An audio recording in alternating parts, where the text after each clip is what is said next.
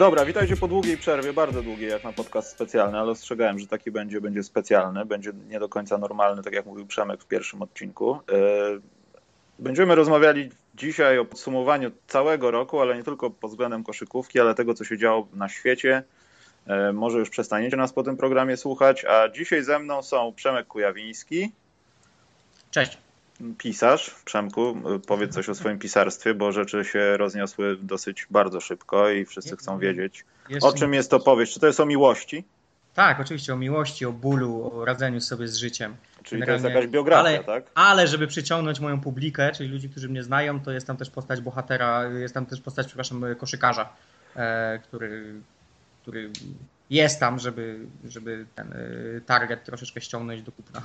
Czy można się spodziewać jakiejś golizny, bądź też jakichś nieprzyzwoitych rzeczy, które mogą czytać nawet fanki, czy nie ma tam takiego typu? Bo też są nie, takie pytania. Nie, nie, nie, nie, nie, ma. Nie ma, nie ma dużej rzeszy fanek. Nie, Ale... Same, nie, właściwie nic się nie dzieje, jak w polskim filmie. Nic się dzieje, cały czas smęcenie, ludzie obierają ziemniaki. Czyli nawet nie ma, nie ma polityki, nie ma śmierci, nie ma przemocy. Nie, nie to, absolutnie to, nie. To, to, ja nie wiem, to o czym to jest? Przemek, musisz powiedzieć cokolwiek o czym no, to jest. No, mówię ci, mówię o bólu o. i o śmierci i o miłości. Chryste, panie. E, ale data jest znana, czy... I trochę o koszykówce? Nie, wczoraj skończyłem, wczoraj postawiłem ostatnie zdanie. E, dlatego jestem bardzo szczęśliwy z tego powodu, bo zajęło mi to prawie 3 lata. E, ale daty jeszcze nie ma, no bo teraz y, jest ta część, trudniejsza część, y, zapewne, nie mam pojęcia, bo nigdy w życiu jeszcze tego wcześniej nie robiłem, ale chyba ta trudniejsza część całego zadania, czyli, e, czyli próba wydania tego czegoś. E, czyli masz już w szafie swoją ulubioną apaszkę, którą będziesz miał na sobie podczas podpisywania książek w Empiku? Tak, kupiłem, kupiłem już szalik i kaszkiet.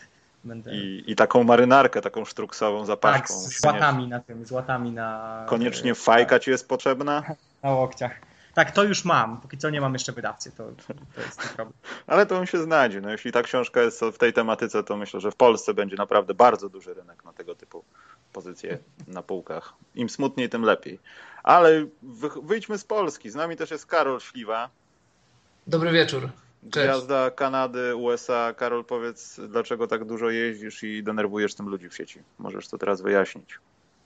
Dlaczego? Jeżdżę, żeby denerwować ludzi właśnie.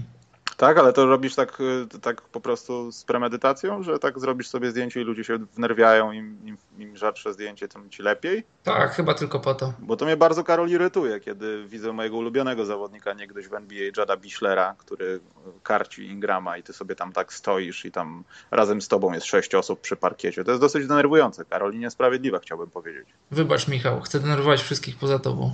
E, gdzie będziesz denerwował w 2017 roku? Masz już jakieś plany? No mam nadzieję, że razem z tobą w Helsinkach na Mistrzostwach Europy.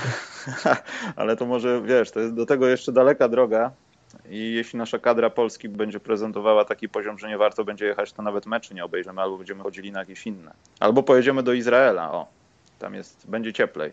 Jaka będzie pogoda w Helsinkach wtedy? Będzie bardzo ciepło?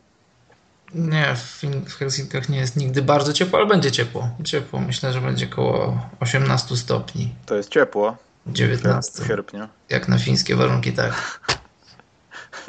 Czyli nie będzie żadnego opalania. Ale to dobrze, w takim układzie dobrze.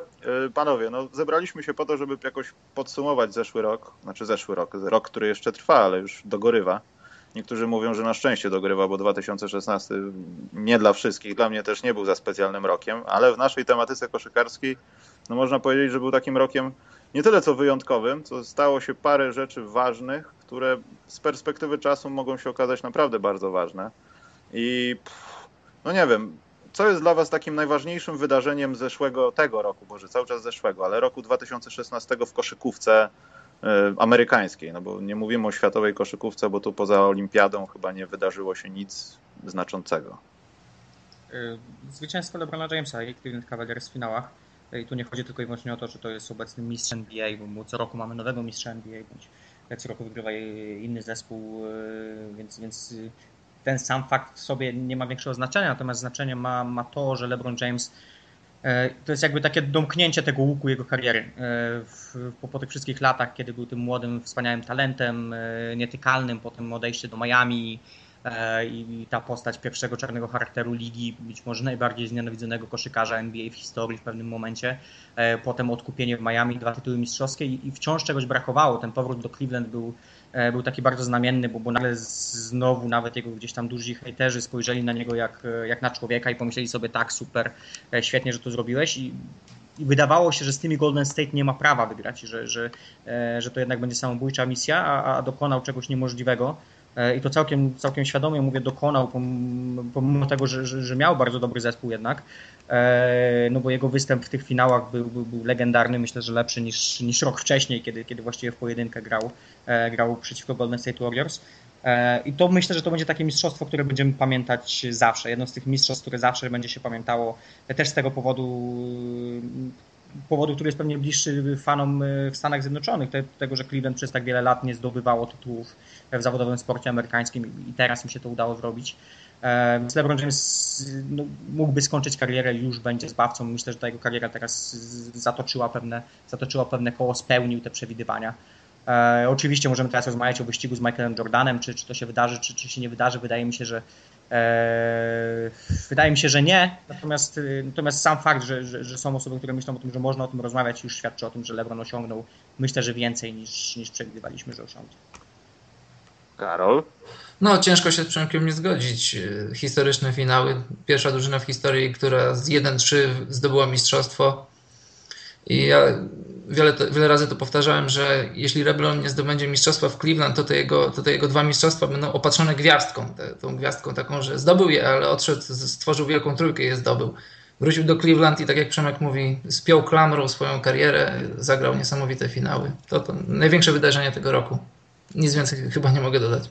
A ja bym tak trochę poszedł pod prąd, bo jeśli by ktoś mnie zapytał, co jest największym wydarzeniem tego roku, no to faktycznie no też jakoś tam bym starał się zagaić wokół tego, co się stało wokół finałów i jak w magiczny sposób y, to, co zrobiło Golden State Warriors przez cały sezon regularny i w ogóle przez kawałek playoffów, poszło w taki kosmiczny niebyt, że tego po prostu nie było.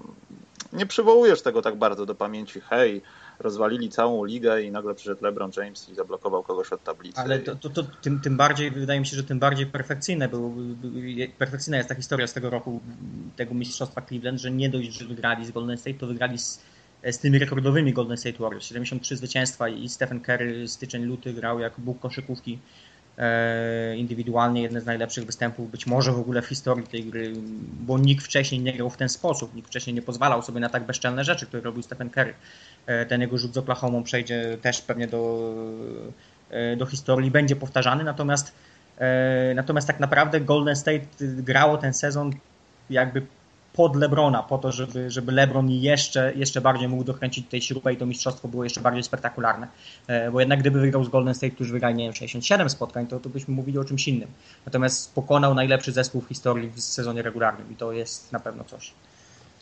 Mm, natomiast właśnie, bo zaczynałem od tego, z czym by mi się kojarzył 2016. Mi się kojarzy 2016 bardziej z takim, nie wiem, gdyby każdy rok można było opatrzyć jakimś jednym słowem, że ten rok jest sponsorowany przez coś tam, no to obok słów Donald Trump i terroryzm i wszechobecna agresja, to są chyba takie, nie wiem, słowo emocje, bo 2016 rozpoczął się tak naprawdę od znaczy, to też nie jest jakaś data graniczna, że nie wiem, tak jak jakiś nowy prezydent jakiegoś nowego mocarstwa, ale no, w styczniu tego roku David Blatt został zwolniony z Cleveland Cavaliers, pojawił się Tyron Lue, który nie do końca wszystkim pasował mi też nie. Ja myślałem, że to będzie jeden z tych zawodników, którzy wzięci są na chwilę i to tak naprawdę nie zmieni nic, nic w szatni. I z biegiem czasu y, okazywało się, że no, wbrew wszystkim jest to bardzo dobra decyzja, która prawdopodobnie może też nie byłem zadowolony z jego wyborów do meczu gwiazd, no bo za mało rozegrał tych spotkań, bo to było miesiąc przed y, meczem gwiazd. Ale spowodowało to też jakąś taką zmianę w toku myślenia tego, co chce osiągnąć Cleveland w, w tym roku i tego, co na pewno chce osiągnąć, co osiągnąć chce LeBron James, ale też bym przypominał sobie o konkursie wsadów, który był fenomenalny. O, I, tak, też, I też niejako przypomniał o czasach świetności koszykówki, bo w poprzednich latach, no nie mówię pod aspektem głupiego konkursu wsadów, ale różnie z tym było. Rzeczy były łatwe do przewidzenia, były ustalone gwiazdy, a przede wszystkim odchodziły te gwiazdy, co też było emocjonalne, no bo niestety nasz ulubiony Przemek zawodnik y, Kobe Bryant odszedł z koszykówki.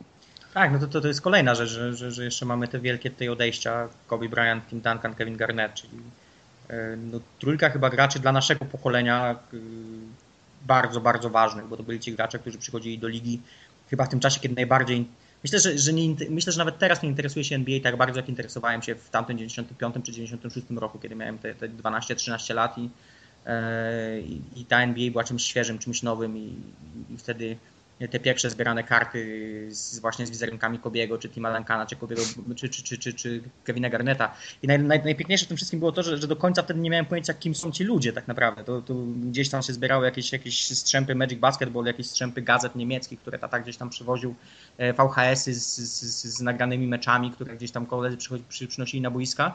E, i słyszeliśmy gdzieś tam o tym Kevinie Garnecie i słyszeliśmy o Timie Duncanie, słyszeliśmy o Kobe Bryancie, ale nikt do końca nie wiedział, kim oni są, no bo widzieliśmy ich pewnie na parkiecie, nie wiem, z, łącznie z 3-4 godziny przez te, nie wiem, 2 czy 3 lata w tamtych czasach, bo nie było więcej dostępu do tego. I myślę, że to też sprawia, że, że to jest takie trochę, nie wiem, dla mnie e, bardzo sentymentalne, że, że, że ta, ta trójka akurat odeszła wspólnie. I to będzie jedna z najlepszych klas chyba w Hall of Fame w historii. No ale stawiając pytanie, kogo nam najbardziej zabraknie? Mamy Kobyłę, mamy Big Ticketa, ee, kogo wyżej stawiamy wśród tych zawodników, którzy, no i, no i, no i no, przepraszam, Tima Duncana. Kto z tej trójki w waszym odczuciu jest bardziej potrzebny? W sensie powinien jeszcze pograć sezon, nie wiem, porobić z siebie Dirka Nowickiego nawet w paru spotkaniach wystąpić, w paru nie fizycznie, który byłby w stanie no. jeszcze grać? Znaczy może nie byłby w stanie, ale którego chciałbyś obejrzeć na parkiecie, no bo może za wcześnie skończył, może mógłby jeszcze tam sam sobie poubliżać swoją grą, ale pojawić się na parkiecie. E, Garneta, mojego drugiego ulubionego zawodnika ever, nie chciałbym oglądać, bo te ostatnie dwa lata on był zniszczony. On już nie, już nie był w stanie grać. On powinien był skończyć karierę, nie wiem, po pierwszym roku na Brooklynie albo po ostatnim Bostonie. Nawet dla takich wsadów, jak zrobił to nad, nad Griffinem nad chyba wtedy? Nawet? Nie wiem, może dla tego jednego wsadu mógł zostać, ale żal było patrzeć na KG, bo głowa chciała, widać było, że kierował zawodnikami w obronie, rozmawiał, mówił, ale już niestety ciało, ciało nie domagało. Ale myślę, że Kobi mógł dać jeszcze z jeden sezon, dwa takiej dobrej koszykówki, gdyby był obudowany dobrą drużyną, taką jak jak Tim Duncan miał u siebie, bo myślę sobie, że gdyby Tim Duncan musiał się męczyć tak jak Kobe na tych swoich y, schorowanych kolanach, to, to też żal byłoby oglądać, a że Pop umiejętnie kierował jego minutami, y, grał w świetnym systemie, to potrafił jeszcze być produktywny i, i potrafił dawać dużo dobrego swojej drużynie. Ja myślę, że w końcówce sezonu no, Tima Duncana też już było trochę żal oglądać. To też już był taki moment, że, że było widać, że on się postarzał tak z miesiąca na miesiąc. E, jeśli chodzi o, o, Kobiego, ja tutaj się nie zgodzę, bo ja nie, nie wierzę w żadnych okolicznościach, w których Kobe miał, miałby być jeszcze przyzwoitym zawodnikiem w NBA. Też z tego powodu, że jego głowa chciałaby za dużo i on być może fizycznie z tej trójki jeszcze byłby w najlepszym stanie, ale, ale z tego powodu znowu widzielibyśmy kawalkadę, nie wiem, e, długich trójek, 36% czy 35% z gry, mnóstwo strat i, i kolejny stracony sezon Lakers, bo tak to trzeba nazwać jednak. E, ja natomiast się nie zgodzę z, z, z tym, że, że, że, Kevin Garnett nie powinien zostać w NBA, może faktycznie nie powinien grać, bo, bo on chyba postarzał się najszybciej z tej całej trójki. No ale, ale też myślę, wiesz, z drugiej strony myślę, zagrał najbardziej intensywną karierę chyba. No wiadomo, Kobe przyszedł też dosyć wcześnie do NBA, ale Garnett był przez wiele lat sam sobie pozostawiony i po prostu na jego plecach ciągnięto całe miasto, całe no miasto. tak, no to, no to jest prawda, że on przez wiele lat ciągnął, ciągnął, e, ciągnął to sam.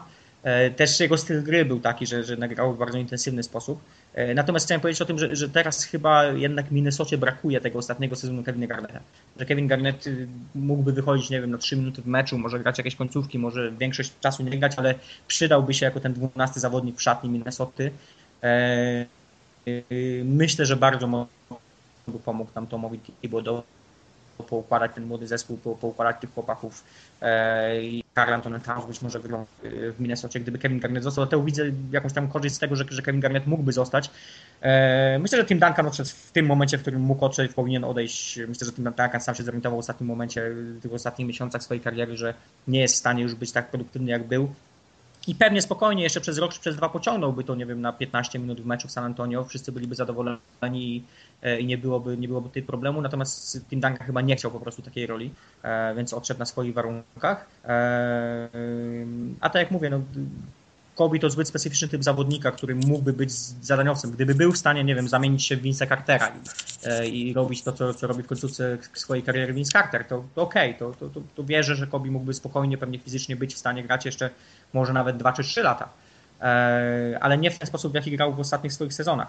W sensie Kobe chciałby pewnie nadal być główną postacią w zespole, a to po prostu w jego wieku już nie było możliwe. E, a też ja szczerze mówiąc zastanawiałem się nad tym e, i do dzisiaj, znaczy do dzisiaj, no dwa, trzy tygodnie trwa ten proces myślowy, nie jestem za inteligentnym człowiekiem, więc mógłby krócej. Nie wymyśliłem, ale gdybyśmy byli zmuszeni postawić trzech zawodników, którzy teraz są powiedzmy jako takim, no nie chcę mówić prime, bo to też jest słowo dosyć grząskie i nie zawsze pasuje do tych samych ramek czasowych, że po danym okresie czasu już jesteś w prime, bo masz tyle i tyle lat i twoje ciało jest super przygotowane, etc. Gdybyśmy mieli postawić tych trzech zawodników i zamienić ich na trzech takich, którzy teraz są e, w NBA, grają i nie wiem, są w jakichś tam, powiedziałem, primach e, swojej kariery. W jaki sposób, czy, czy widzielibyście takich zawodników, może inaczej pytanie, czy widzielibyście takich zawodników, którzy mogliby ich śmiało zastąpić, że za te 10 lat będziemy mówili, nie wiem, o Durancie, że no prawie jak Kevin Garnett i tak dalej, i tak dalej, jakieś porównania czy odejście tych trzech zawodników oznacza, że nie będziemy mieli nikogo takiego, jak Michael Jordan odszedł? Do dzisiaj ciężko szukać porównań. Ja chciałem powiedzieć, że liga jest w dobrych rękach i to czasem wydaje się tak, że kiedy odchodzi dobry zawodnik, że liga traci coś bezpowrotnie, ale później się okazuje, że, że, że pomijając osobowość i to, co dany zawodnik zrobił w danym okresie czasu, to czysto koszykarsko pojawiają się ludzie, którzy potrafią go zastąpić. Takim wydaje mi się, że naturalnym kontynuatorem dzieła Garneta może być Carl Anthony Towns, który był przez ponad rok pod jego skrzydłami. Nie wiemy, jak to jest naprawdę, ale z tego, co ludzie mówią, ciężko pracuje, chce się rozwijać, jest talentem, potrafi rzucać z daleka, potrafi rzucać z bliska, potrafi wszystko w młodym wieku, więc y, nie widzę powodów, dla którego miałbym sądzić, że, że to, co zrobili Garnet, Timmy czy, czy Kobe, nie będzie kontynuowane przez następnych zawodników. Właśnie jeśli chodzi o Garneta, takim naturalnym spadkobiercą wydaje mi się Antony Davis, jeśli chodzi o skillset, jeśli chodzi o to, co potrafi zrobić na parkiecie, czyli gracz, który jest w stanie e, jest w stanie przewodzić swoje drużynie w, w, praktycznie we wszystkich kategoriach statystycznych. E, I myślę, że Antony Davis tutaj, jeśli chodzi o skillset, być może na koniec kariery powiemy, że był lepszym Kevinem Garnettem. Natomiast nie widzę takiego gracza, który byłby w stanie zastąpić KG, jeśli chodzi o, o intensywność, jeśli chodzi o, o, o to, w jaki sposób grał e, po obu stronach parkietu, bo Anton Davis ma jeszcze dużo do, do nadrobienia w obronie, żeby, żeby wejść na ten sam poziom co, co, co KG. E, myślę, że to samo do, do, dotyczy Karla Antonego Townsa. Ja bym bardziej widział Townsa w przyszłości jako Tima Duncana, właśnie też z tego powodu, że, że, że, że tak jak Karol powiedziałeś, też czytałem bardzo dużo o tym, że, że to jest właśnie mądry chłopak, że to jest gość, który ma głowę e, i, i, i, być może to jest dla niego jakaś naturalna ścieżka rozwoju. Też pamiętajmy o tym, że ten Duncan grał 4 lata w koledżu, więc on przychodząc do NBA był już gotowym produktem. E, czyli to, co gra teraz Towns, no to, to, to jest drugi rok drugi rok gry na studiach e, Tima Duncana, więc, więc jakby te porównania zaczną przychodzić trochę później. Natomiast właśnie, jeśli chodzi o Kobiego, jeśli chodzi o, o Kevina Garneta, no to, to, to, myślę, że może brakować troszeczkę takich charakterów. E, bo być może chyba najlepszym rzucającym obrońcą w tej chwili widzę jest James Harden, zupełnie inny charakter niż Kobe Bryant. Myślę, że trudno znaleźć dwóch bardziej odległych zawodników, jeśli o to chodzi, jeśli chodzi o, o sposób ekspresji, jeśli chodzi o, o, to, w jaki, sposób, e, w jaki sposób podchodzą do koszykówki. I tak samo no, nie widzę jakiegoś takiego gościa, który miałby tak dużo ognia w sobie jak Kevin Garnett w tej chwili. Eee, więc. Właśnie tak się tak... zastanawiałem. Moje, moje zastanowienie wynikało z tego, do kogo bym porównał Kevina Garneta teraz. Czy jest ktoś. Wiadomo, to były inne warunki gry, bo Kevin Garnett przychodząc do NBA miał przed sobą zawodników, którzy e, wyszli już z tych lat 90., ta koszykówka znacząco się zmieniła, już przestała być tak brutalna i w zasadzie jednostronna, jeśli ktoś był silniejszy i bardziej cwany pod koszem. Mówię tutaj o Detroit Pistons, którzy potrafili połamać ludziom ręce i dopiero okazywało się, że sędziowie po meczu nie wiedzieli nic, a goście lądują w szpitalu. I to nie było dobre, ale Kevin Garnett, Kobe Bryant, Durant, y, przepraszam, y, Tim Duncan y, wywodzili się z tego bardziej. Też przez to byli jakąś ewolucją tej koszykówki. Natomiast ci teraz, to przyszli po nich, też będą jakąś ewolucją tej ewolucji. I tak jak Przemek powiedział, ja nie widzę w NBA teraz, wiadomo, no nie wiem, Joel Embiid i to wszystko, co się dzieje wokół niego, ale nie widzę nikogo takiego, kto ma taki ząb, to, taką nawet chorą psychiczną, nie wiem, chorobę, nie wiem, jak można było nazwać Kevina jedyny, Garneta z początku kariery. Jedyny gość, jedyny gość taki to jest Russell Westbrook, moim zdaniem, który ma ten, ten ogień w sobie taki, że, że widać, że faktycznie ten gość wyrwie ci serce zaraz. E, a właśnie jeśli chodzi o młodych graczy, to jest, też się na tym zastanawiałem, jeśli chodzi o młodych graczy, no nie widzę takiego z tych młodych graczy, które przychodzą, no Embiid jest oczywiście, ma wielką osobowość, ale, ale, ale to nie jest ten rodzaj osobowości, to nie jest ten rodzaj intensywności, co Kevin Garnett. Więc zastanawiam się, kto tutaj wejdzie w no pewnie pojawią się w końcu tacy gracze, którzy mają w sobie znowu tyle, tyle ognia. Póki co mam wrażenie, że jedną taką osobą jest Russell Westbrook. Tak, z tych psychopatów, starych psychopatów, dobrych psychopatów z lat 90., którzy mogą cię zabić na boisku, a potem będą mówili, że nic się nie stało, to jest koszykówka. Zresztą Michael Jordan go doskonale porównał do samego siebie, że ten sam sposób ambicjonalnego podchodzenia tak, do tak, tak. wszystkiego, tak. ta sama ekspresja, to jest właśnie chodzi. to. Ja się zastanawiam, czy Janis Antetokounmpo się w pewnym momencie nie przerodzi w takiego gościa być może, bo, bo, bo on wciąż się gdzieś rozwija też na tym, właściwie mało co wiemy na temat jego osobowości, być może jeśli nabierze trochę pewności siebie jeszcze, to się okaże, że, że to on właśnie będzie takim gościem, ale mimo wszystko teraz dominuje taka, z jednej strony to jest takie pokłosie LeBrona Jamesa, czyli, czyli właśnie dominuje takie, taka chęć tego, żeby być intelektualistami trochę na parkiecie, E, wśród młodych koszykarzy. Z drugiej strony to podejście typu Kawhi Leonard, czyli, czyli nie odzywam się, nie, nie robię min, po prostu gram w koszykówkę, reszta mnie nie obchodzi.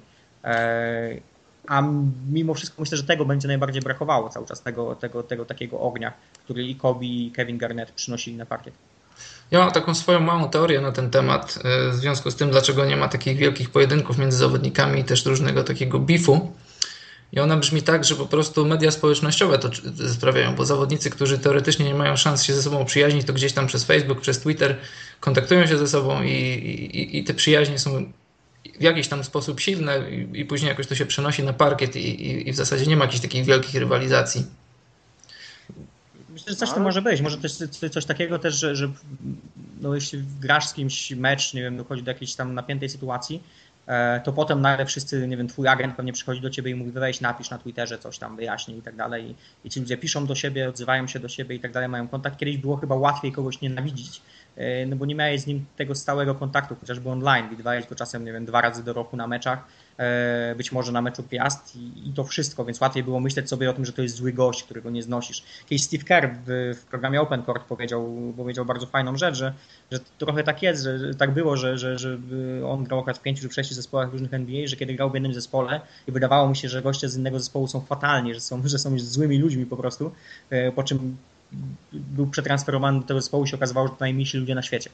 E, to myślę, że teraz, e, tak jak mówisz, chyba łatwiej jest się o tym przekonać, więc dużo trudniej znaleźć w sobie to, ten taki ogień, żeby kogoś faktycznie nienawidzić, bo chyba tego nam trochę brakuje, takich, takich prawdziwych emocji.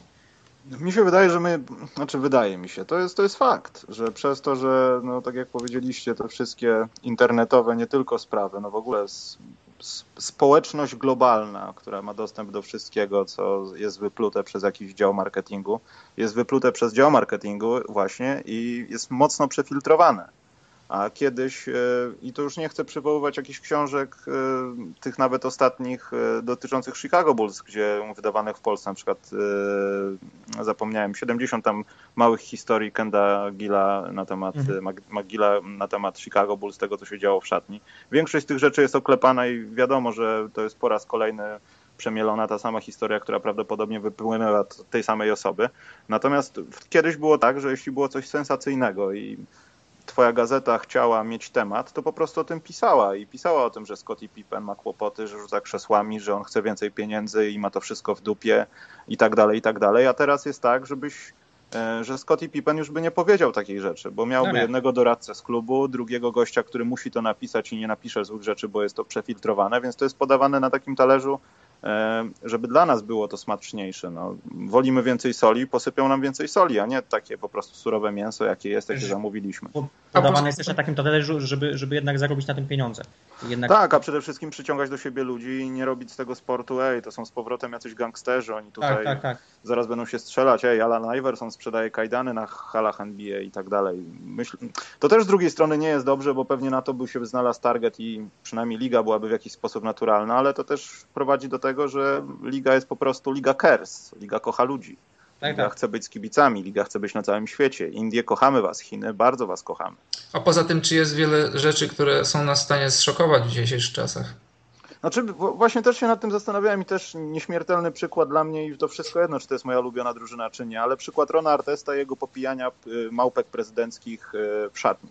Ciekawe, co by się stało teraz. Czy to byłaby wielka, skandaliczna sensacja, po której Adam Silver zerwałby ostatnie dwa włosy z za ucha ze swojej głowy i został już kompletnie łysy, czy, to jakoś tam, a to Ron Artes, to tam spoko. Ja już nie mówię o y, historii Chrisa Herena z, z Boston Celtics, gdzie potrafił przed meczem kupić sobie działkę heroiny i czekać na gościa w stroju meczowym w deszczu i nie wyjść na mecz z tego powodu ale takie małe rzeczy, czy one by po prostu nie zostały no, zniszczone przez y, działy marketingu albo po prostu opinię publiczną w jakiś sposób? Y, dziś pewnie wyglądałoby to tak, że ktoś wystosowałby oficjalne oświadczenie, w którym przeprosił, wpłacił jakieś pieniądze na cel charytatywny i tak by się to skończyło i po kilku dniach byśmy o tym już nie pamiętali.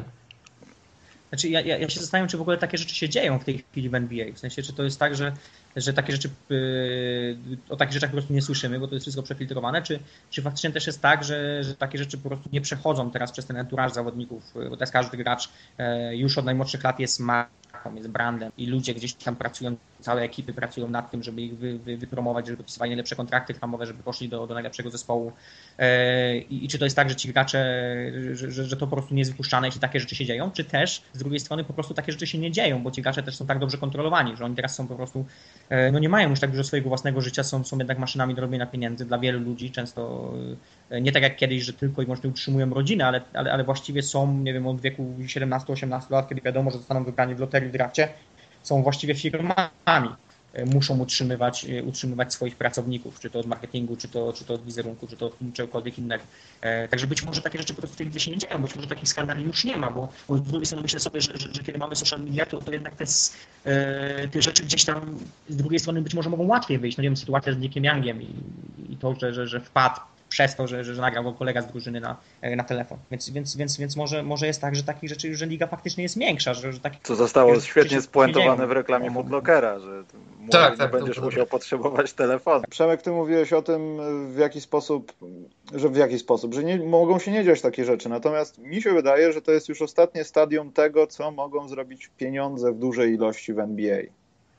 W sensie mamy dużo pieniędzy, uniknęli, uniknęliśmy lockoutu, bo wszyscy są świetnie, optymistycznie nastawieni do nowej umowy zbiorowej, która była podpisana w połowie grudnia. Mike Conley dostaje kupę pieniędzy, więcej od PKB niejednego państwa w Afryce i nie wypada nam po prostu tracić tych pieniędzy przez jakieś głupie rzeczy. To jest taka no, poprawność polityczna, nic więcej. Znaczy, ja nie twierdzę, że takie rzeczy jak, nie wiem, robił y, Jason Williams, strzelając do swojego szofera z dubeltówki przez przypadek, były fajną rzeczą czy nie, ale im więcej jest tych pieniędzy, im większa jest uwaga, im bardziej opiekuje się nad tym liga, tym mniej będziemy mieli takich y, odprysków. No, będziemy mieli Demarcusa Kazinisa, który robi jakieś głupotki, ale nie są to głupoty na jakąś skalę taką y, dużą. I wydaje mi się, że im dłużej będą te pieniądze, im dłużej liga będzie dobrze prosperowała, bo teraz chyba ona jest w prime, już nie mówię o prime wynikowym, ale w prime finansowym, tym większa filtracja i mniej takich zachowań. Ja też właśnie myślę, że dzisiaj bardziej niż kiedykolwiek lidze musi zależeć na dobrym wizerunku, bo te pieniądze, nawet przeliczając to przez, przepuszczając to przez stopień inflacji i różne inne rzeczy, to są pieniądze w wielu przypadkach demoralizujące i Adam Silver na pewno zdaje sobie sprawę z tego, że, że podpisał idealną umowę i, i tak jak mówisz, częściowo te rzeczy muszą być filtrowane. Ciężko powiedzieć, czy, czy, czy, czy, zawodnicy się zmienili, czy nie robią jakichś tam głupich rzeczy. Podejrzewam, że nie do końca, bo chyba te czasy, w których żyjemy, nie są aż takie wyjątkowe, ale po prostu wszystkim zależy na tym. Wiedzą, jaka jest waga tego wszystkiego i pewnie Chciałbym wierzyć, że tak nie jest, ale wydaje mi się, że pewnie jest jakieś tam niepisane porozumienie, że o pewnych rzeczach się nie rozmawia. Teraz zahaczyłbym o rzeczy, które może nie tyle, co wniosą cokolwiek, ale o to, co perspektywicznie, bo to chyba do 2020 jest podpisane, to co wniosą w CBA. Ja chciałbym bardziej zagaić na temat y, sędziowania niż temat pieniędzy, bo tam za dużych jakichś zmian nie ma. Wiadomo, będą podwyżki, które będą, no tak jak nie wiem, Porcingnis albo Kazins, no to będą straszne podwyżki tych pieniędzy. Mm. E, natomiast są no, takie rzeczy, które są namacalne, bo im więcej pieniędzy, to wiadomo, no to, to tylko więcej pieniędzy, nic poza tym i kasy klubów też będą bogatsze. E, bardzo zainteresowała mnie sprawa eksperymentowania z sędziami. E, podobno już w D-League eksperymentują z czwórką sędziowską, a docelowo chcą nawet wprowadzić piątkę.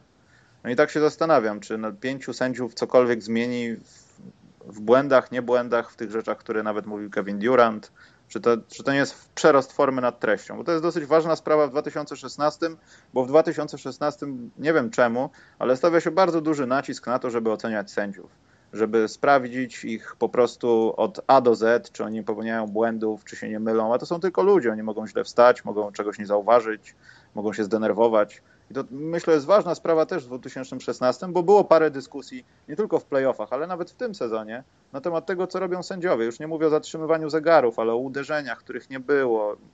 Myślę, że w tym roku było tego nader dużo niż w pozostałych latach.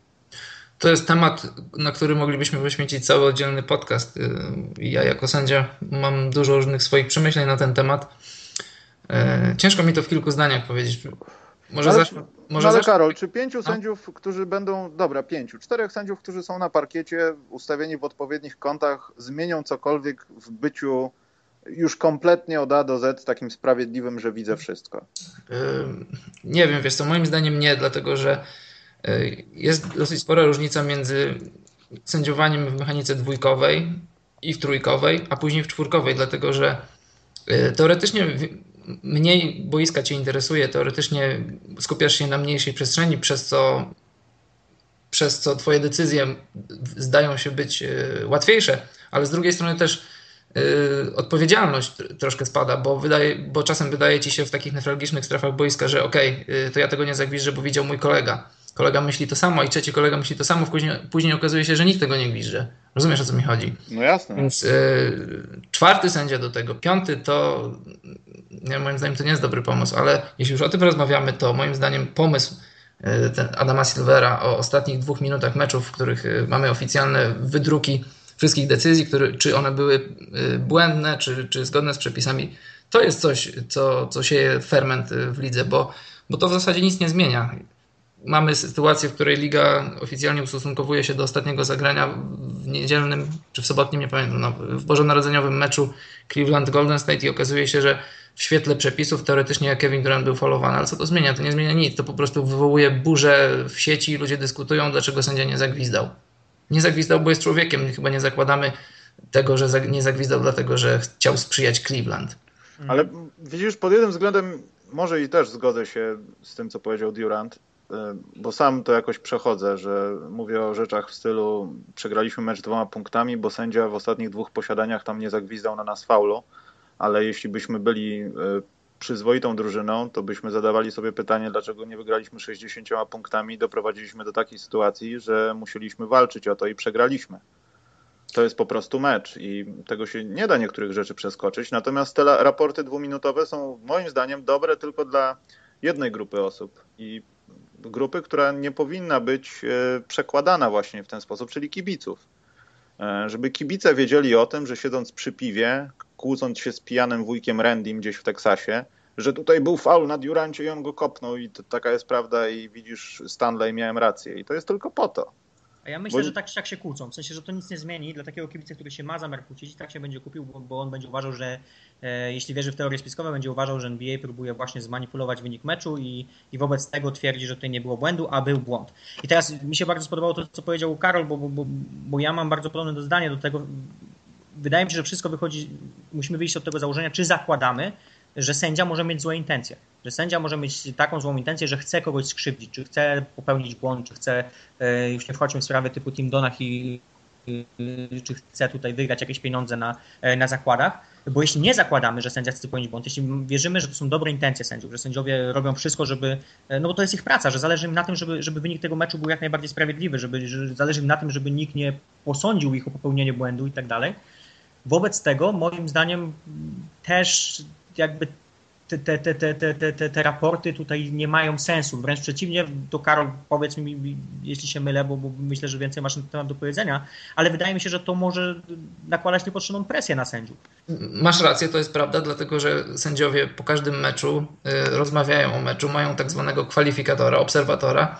I oni rozmawiają o poszczególnych sytuacjach, ktoś im, y, ktoś im daje ocenę, oni są weryfikowani, poddawani, poddawani presji wewnątrz własnego środowiska, bo im lepiej sędziujesz, tym dostajesz lepsze mecze, im gorzej sędziujesz, tym, tym spadasz gdzieś tam w kwalifikacjach, a, te, a, a ten, ten raport jeszcze, do, jeszcze im dokłada, bo kibice, którzy nie, często nie znają się na przepisach, często znają je tylko z oglądania meczów, a to, to nie jest nawet, nie wiem, 30-25% y, wiedzy na temat sędziowania i oni dają sobie prawo oceniać tych, tych ludzi. Tak, i, i, myślę, że to nakłada jeszcze większą presję, bo potem taki sędzia przychodzi na, na mecz, kibice krzyczą do niego z boku, bo widzieliśmy, że popełniłeś błąd w ostatnich minutach tego i tego meczu.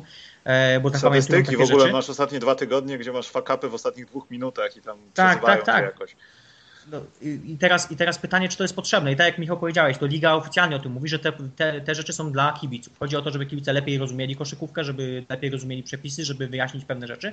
I to jest okej. Okay. Przy czym ja miałem taką dyskusję z, z Piotkiem Zarytą z, z krainy NBA na, na, na Twitterze i, i, i, tutaj się muszę zgodzić z Piotkiem pod jednym względem, mimo tego, że mamy inne zdanie. Ja uważam, że te, te, te dwuminutowe raporty są absolutnie niepotrzebne i powinno się to wycofać. On uważał, że wręcz przeciwnie, ale jakby zgodziliśmy się na to, że liga powinna pójść albo w jednym, albo w drugim kierunku. Czyli jeśli decyduje się na to, żeby wypuszczać te dwuminutowe raporty, no to już idźmy na całość i e, pokażmy też oceny sędziów, pokażmy kibicom, że sędziowie, którzy sędziują najlepiej, faktycznie dostają najlepsze mecze że to nie jest przypadek, że sędzia, który sędziuje w finałach, sędziuje w finałach, tylko jest tak, ponieważ był najlepiej oceniany przez swoich kolegów, przez ligę i tak dalej, i tak dalej.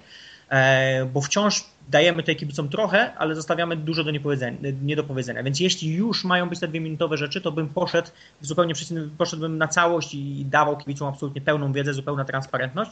Natomiast jeśli, a podejrzewam, że Liga nie chciałaby się na to zgodzić e, i wydaje mi się, że to jest lepszym pomysłem, trzeba chronić sędziów. W sensie wydaje mi się, że, że sędzie, jako, jako że dobry sędzi, dobrego sędziego chyba po tym, że nie pamiętamy, że w ogóle był na tym parkiecie, że nie pamiętamy, że sędziował, e, to wobec tego trzeba ich chronić przed, przed tym, że, że zna się ich nazwiska, że wiemy, że, że kibice nagle wiedzą kto, co i jak E, oni powinni być anonimowi. Jeśli popełnią błędy, to, to powinno się traktować to jako błędy ligi.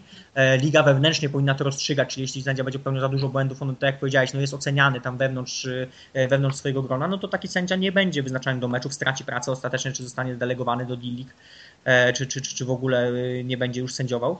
E, I teraz to wszystko jest kwestia naszego zaufania. Czy, czy, czy wierzymy w teorię spiskowej, wierzymy w to, że liga chce wszystkim manipulować, czy też wierzymy w to, że sędziowie mają dobre intencje i chcą dobrze sędziować. Ja Jasne. wolę jednak wierzyć w to, że sędziowie chcą dobrze sędziować, że do takiego sędziego ambicją zawodową jest to, żeby dobrze przesędziować mecz, żeby nie popełnić błędów. Bo wydaje mi się, i to też e, myślę, myślę że tu mnie wesprzesz w tym, co, co mówię, e, że jak się popełni taki błąd, to taki sędzia to przeżywa. No jak każdy z nas spieprzy gdzieś tam w pracy, no to potem myśli o tym i zastanawia się, czy mówi, aj, bez sensu. A jeśli do tego jest to błąd w playoffach w ostatnich sekundach, który jest powtarzany wciąż i wciąż, taki sędzia to widzi, to myślę, że ciężko im jest gdzieś tam przejść do tego, znaczy przeżywają to, mają, mają z tego powodu wyrzuty sumienia, uważają to za błąd w sztuce i chcą się poprawić, chcą być lepsi i tak dalej.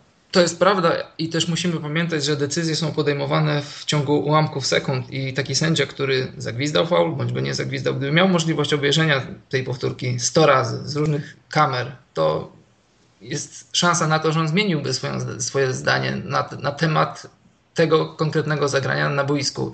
I, I, to nie jest kwestia tego, że, że on czegoś nie widział, że on czegoś nie umie. To, to są po prostu ułamki sekundy na, na to, żeby podjąć decyzję. A pamiętajmy, że brak gwizdka to jest także decyzja. To jest jedno z naszych powiedzeń w środowisku sędziowskim. I jest powód, dla którego karze się zawodników i trenerów za krytykowanie sędziów, jest powód, dla którego e, nie, nie przeprowadza się wywiadów z sędziami. Oni muszą być tylko elementem tej gry. Najważniejsi są zawodnicy na parkiecie, bo ludzie płacą, żeby oglądać ich, a nie sędziów. Mhm, dokładnie. I teraz, Karol, powiedz mi, bo to jest, to jest dla mnie ciekawe, bo, bo, bo ty sędziujesz na innym poziomie. Liga NBA jest jednak dużo szybsza, dużo, e, są dużo więksi, to się dzieje w, naprawdę w ułamkach sekundy. Nieraz byłeś, nie wiem, czy byłeś na meczu NBA, ale byłeś na pewno na meczach NBA w Europie, no nie? Jeśli dobrze pamiętam. Więc, więc, więc byłeś, widziałeś to z bliska. Nie wiem, próbowałeś się tam wcielić troszeczkę w rolę sędziego, też patrząc na to z boku gdzieś tam, z, z trybun i zastanawiając się, czy byś wyłapał pewne rzeczy, czy, czy byś zdążył złapać pewne rzeczy i tak dalej, że patrzysz na to od tej strony też? Tak. Y, kiedy robiłem kurs na sędziego, to powiedzieli nam takie ciekawe powiedzenie, które zawsze do teraz pamiętam, że y, kiedy przejdziesz kurs sędziego, kiedy zaczniesz sędziować mecze, to na koszykówkę już nie patrzysz jak wcześniej, jak do tej pory oglądając mecz patrzysz wiadomo na zawodników, bo przede wszystkim jesteśmy kibicami, ale też y, podpatrujesz, co robią sędziowie, jak się zachowują, jakie podejmują decyzje. I y, no, NBA to jest inna bajka, to jest inna bajka pod względem, no, nie będę opowiadał wam truizmów, że, że to jest inny poziom atletyzmu, ale też inny poziom sędziowania. I z czego to wynika? Moim zdaniem y, jest taki przepis w koszykówce, nazywa się korzyść i niekorzyść, że czasem warto jest nie zagwizdać pewnej sytuacji, bo to, że tego nie zrobisz, wpływa na jakość odbioru meczu. I w NBA jest to, jest to wzięte tak krok, może nawet tak. dwa dalej niż, niż ma to FIBA. I, I wiecie, też musimy pamiętać, że, że to jest liga, która jest, y, która jest najbardziej pożądana, najbardziej oglądana, jest, jest, jest najlepsza realizacja filmowa, telewizyjna z tego wszystkiego. Więc jeżeli gdzieś tam jakiś zawodnik zrobi kroki, te kroki nie są zagwizdane, to później dostaje swoich skrzydeł, dostaje życia w internecie i wtedy się zastanawiamy, dlaczego sędziowie NBA są słabi. A odpowiedź jest taka, oni nie są słabi. W FIBie, w Eurolidze też są błędy, tylko że nikt na świecie, tak w Europie ogląda się Euroligę, ale ogólnie nie ma takiego zainteresowania jak NBA, więc, więc o takich rzeczach się nie mówi. Dokładnie, no i teraz wyobraźmy sobie, że e, Aaron Gordon e, wychodzi sam na sam z koszem i robi trzy kroki, i teraz, ale robi też spektakularny dunk. To myślę, że taki sędzia, który zagwizdałby mu w tym momencie kroki, dostałby telefon od, od, od może nie od komisarza ligi, ale dostałby by telefon od kogoś z góry ligi, że, że, że nie powinien gwizdać w takich momentach, że co z tego, że Aaron Gordon zrobił na przykład trzy kroki, czy nawet cztery, czy nawet nie wiem, to, to, to słynna podróż Korea Brewera. Tak. E, jakby niczego to nie zmienia w tym sensie, że, że to są punkty. E, oczywiście możemy się czepiać zgodnie z literą, z literą przepisów, no były to kroki, e, ale dla widowiska jest to lepsze. E, ja trochę się zagubiłem w tym, co Przemek mówił, w sensie chodzi mi o jedną rzecz, bo też chciałbym postawić to pytanie bardziej Karolowi, bo Przemek mo możesz wiedzieć, możesz nie wiedzieć, ale w tym roku no, chyba tylko fibowskie przepisy, bo nie wiem, czy NBA idzie tym kursem nawet w D-League, ustalono, ja to nazywam piłkarskim przywilejem korzyści i to jest kolejna spra sprawa bardzo dyskusyjna na meczach, nawet na moim szczeblu, czyli tym najniższym, ale czy to powiedzmy ustalanie pozycji RSBQ e, w mhm. ogóle ma jakąś rację bytu, czy to będzie tylko eksperyment, bo to też jest rzecz, która pojawiła się w tym roku z nienacka w systemie sędziowania i nie powiem, no w fibowskiej koszykówce wnosi wiele i prawdopodobnie ma to, miało to na celu po prostu też przyspieszyć grę ją bardziej uatrakcyjnić, żeby puszczać faule czasami traktowane jako kiedyś niesportowa, teraz po prostu gość wjeżdża pod kosz. Czy to też nie jest jakiś taki ukłon w kierunku NBA, żeby sprawić, żeby za te 2-3 lata stało się to takie już jak powietrze i żeby zbliżyć się tymi poziomami szybkości gry przede wszystkim. Wiesz co, to istnieje od, od wielu lat, może nie od wielu, ale y, od kilku, tylko że przed tym sezonem położono na to nacisk i mm, podstawowe pytanie brzmi, y, jak daleko chcesz się posunąć w, w tym y, dawaniu korzyści, niekorzyści czy, czy, czy pójdziemy w ślad piłki nożnej i, i, i, takie konkretne faule będą opuszczane, kiedy sędzia będzie widział, że one prowadzą do łatwych punktów.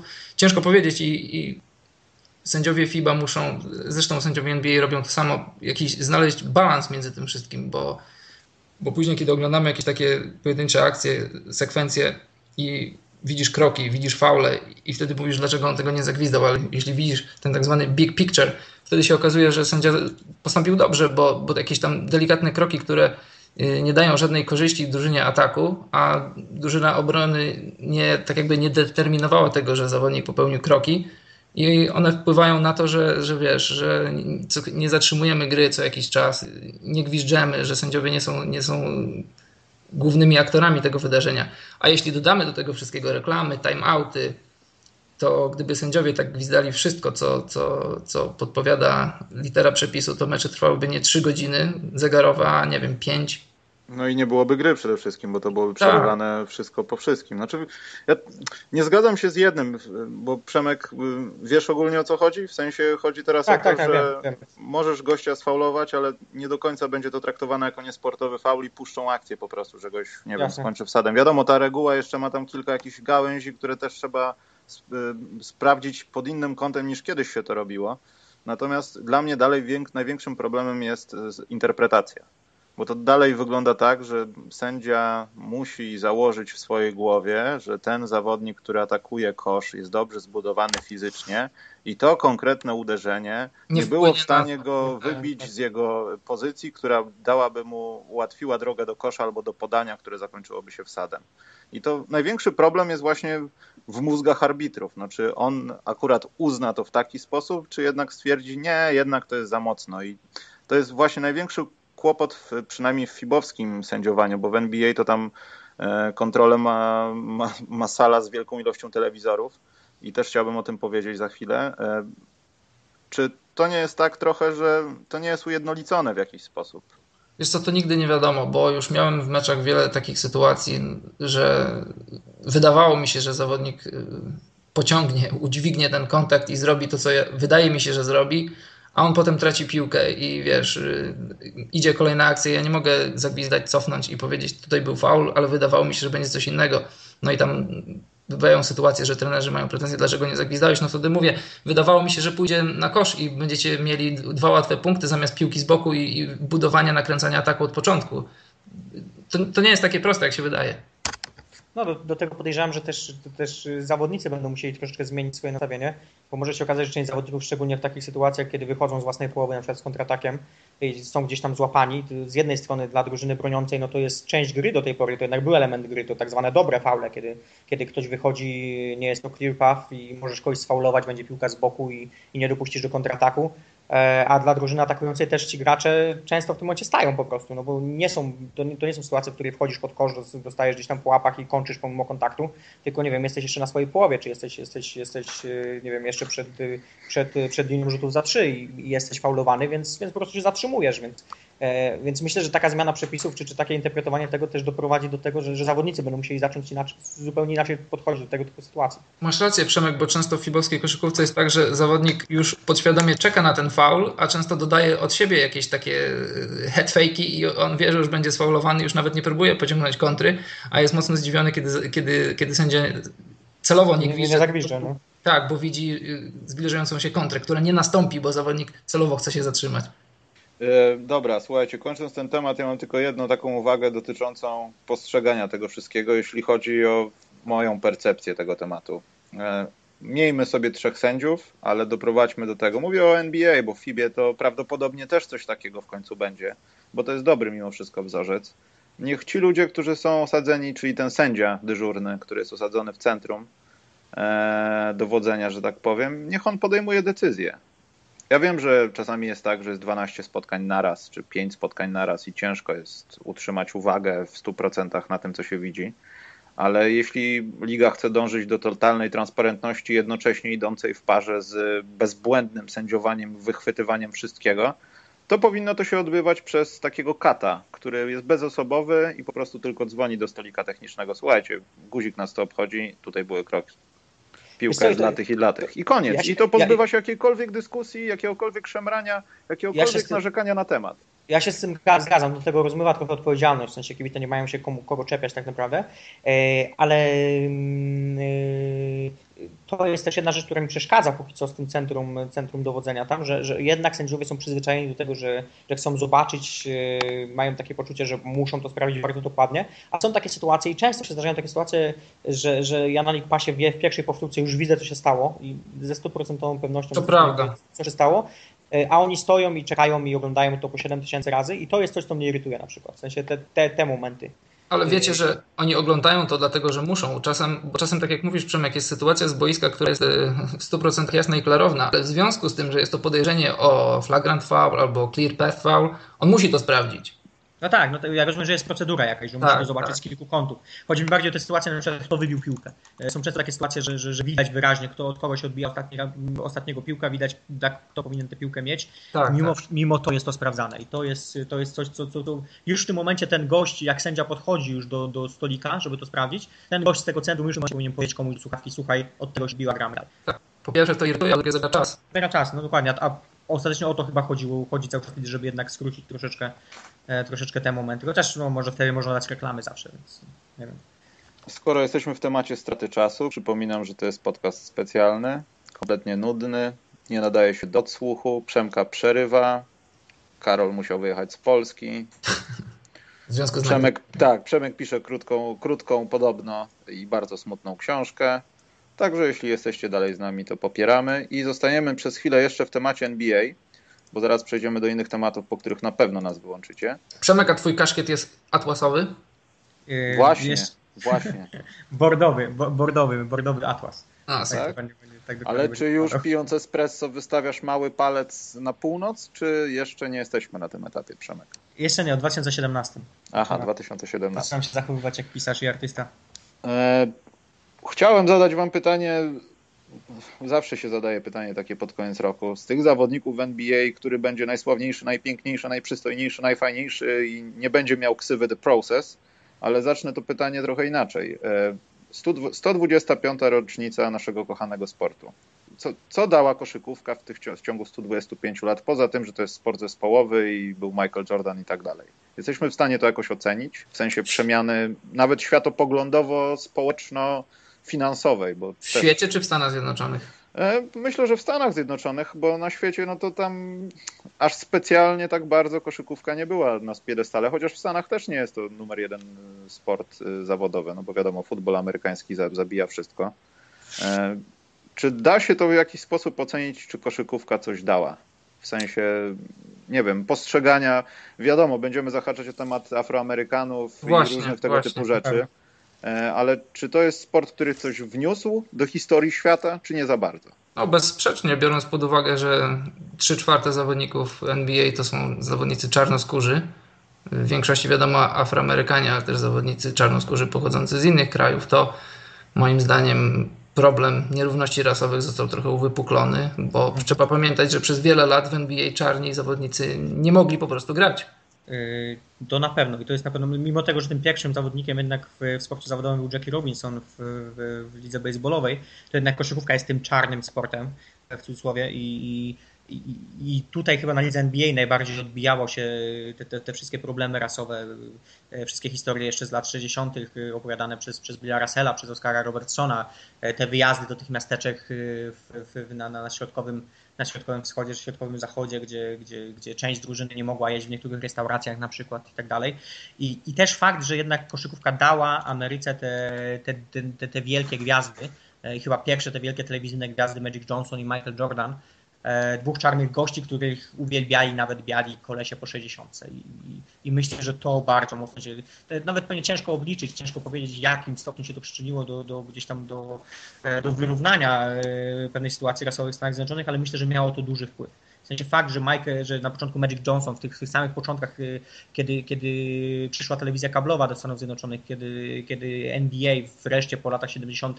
pojawiła się znowu w telewizji, E, i pojawiła się taka gwiazda jak Magic Johnson, wiecznie uśmiechnięty, zadowolony z życia, fantastyczny gość, który świetnie się sprzedawał i tuż po nim przed Michael Jordan, który sprzedawał się być może jeszcze lepiej, e, więc to na pewno miało duży, e, duży wpływ na to i myślę, że postać tych dwóch ludzi w ogóle miała, miała niesamowity wpływ w pewnym sensie na świat, być może na świat biznesu, na, na świat gdzieś tam sytuacji, świat społeczny też. Z jednej strony Magic Johnson i fakt, że, że, że, że zachorował, że złapał wirusa HIV, E, I myślę, że, że, że Magic Johnson przyczynił się bardzo mocno do ocieplenia e, czy do, do, do zrozumienia tej choroby, do zrozumienia, zrozumienia tego, z czym to się je i, e, i, i pchnął, jako że był taką pierwszym, celebrity, który przeżywał chyba wirusa HIV na żywo przed kamerami telewizyjnymi, to nagle się okazało, że, że, że, że, skończyła się ta stygmatyzacja tej choroby no, nie choroby w jego przypadku, no, ale w sensie tego wirusa, tego problemu. Z drugiej strony Michael Jordan i, i fakt, myślę, dla świata biznesu, dla, dla, dla, dla, myślę, że to Michael Jordan był tą osobą, która przyprowadziła te największe pieniądze do sportu. Bo to była chyba pierwsza taka na taką skalę ikona ze świata sportu. E, oczywiście możemy mówić wcześniej o Mohamedzie możemy mówić o, o, nie wiem, o Pele w świecie futbolu i tak dalej, ale wciąż to nie były tak bardzo komercyjne postacie. Michael Jordan był zrobiony z pieniędzy i Michael Jordan przynosił pieniądze do sportu e, i, i, jego relacja z Nike myślę też bardzo mocno zdeterminowała to, w jaki sposób firmy zaczęły myśleć o sportowcach. E, nie tylko firmy sportowe, ale, ale też y, właściwie firmy z dowolnej branży biznesu zaczęły myśleć o sportowcach jako o kimś, kto może nieść ten przekaz korporacyjny też, jako, jako o kimś, kto może być, być twarzą firmy. E, I myślę, że to z kolei zawdzięczamy y, na dobre bądź na złe Michaelowi Jordanowi. W sensie reszta sportowców to nie na dobre, bo, bo te pensje po, po, poszybowały w górę, te zarobki na, na reklamach poszybowały w górę. E, dla nas być może na źle, bo, bo, dla nas kibiców, bo, bo, ciężko nam jest teraz wierzyć gdzieś tam w, w, w, te, w te czyste emocje związane ze sportem i że chodzi tutaj o coś więcej niż o pieniądze e, często. Natomiast myślę, że to, to Michael Jordan miał niesamowity wpływ na, e, na świat w gruncie rzeczy, na, na świat biznesu, na, na, na postrzeganie sportu i roli sportu w tym świecie. E, oczywiście Dream Team tutaj też jako taki pierwszy zespół chyba zawodowy z tego świata amerykańskiego, skomercjalizowanego, który przyszedł przyszedł, przyszedł, przyszedł do Europy, przyszedł do reszty świata i e, myślę, że całe pokolenia koszykarzy, e, nowych, fantastycznych koszykarzy, którzy teraz grają w NBA, którzy jeszcze będą grali w NBA, to jest, to jest pokłosie tego wszystkiego, więc jeśli chodzi o sam świat sportu, to na pewno, e, na pewno koszykówka miała tutaj e, Michael Jordan sam sobie. No właśnie Przemek, wspomniałeś Michaela Jordana i to w, w ramach tego, co też powiedziałeś o takich.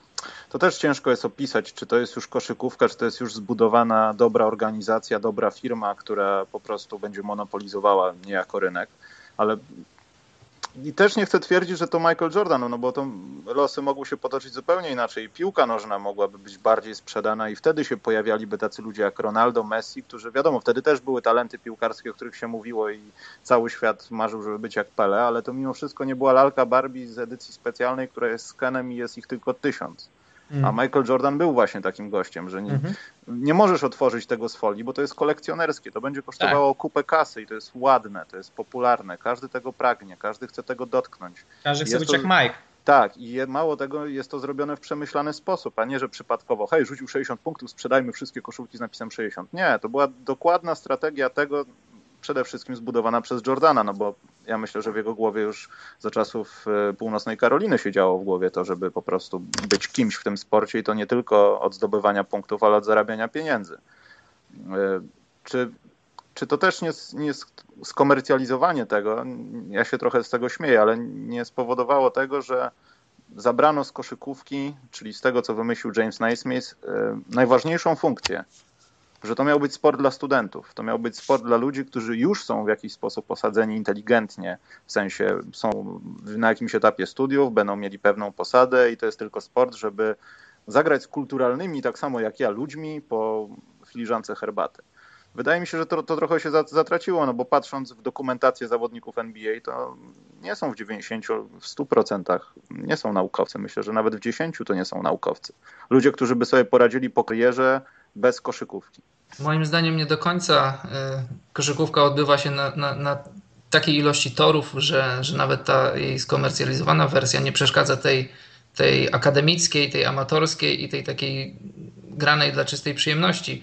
W związku z tym, że w NBA jest wiele pieniędzy, nie zmienia to nic w tym, że zawodnicy półamatorscy czy całkowicie amatorscy gdzieś tam na, na uczelniach, czy gdzieś tam na, na podwórkach mogą się cieszyć tą grą, czerpać z niej radość. Tak uważam. Ja, a propos tego, co powiedziałeś, e, że to jest sport akademicki, myślę, że e, znaczy w zamyśle miał być, wiadomo, ewolucja, tak. pieniądze, popularność na świecie, wiadomo. Słuchaj, no na, na, pewno nie jest to już sport akademicki, natomiast y, czym jest, wydaje mi się, że koszykówka wciąż jest mądrym sportem.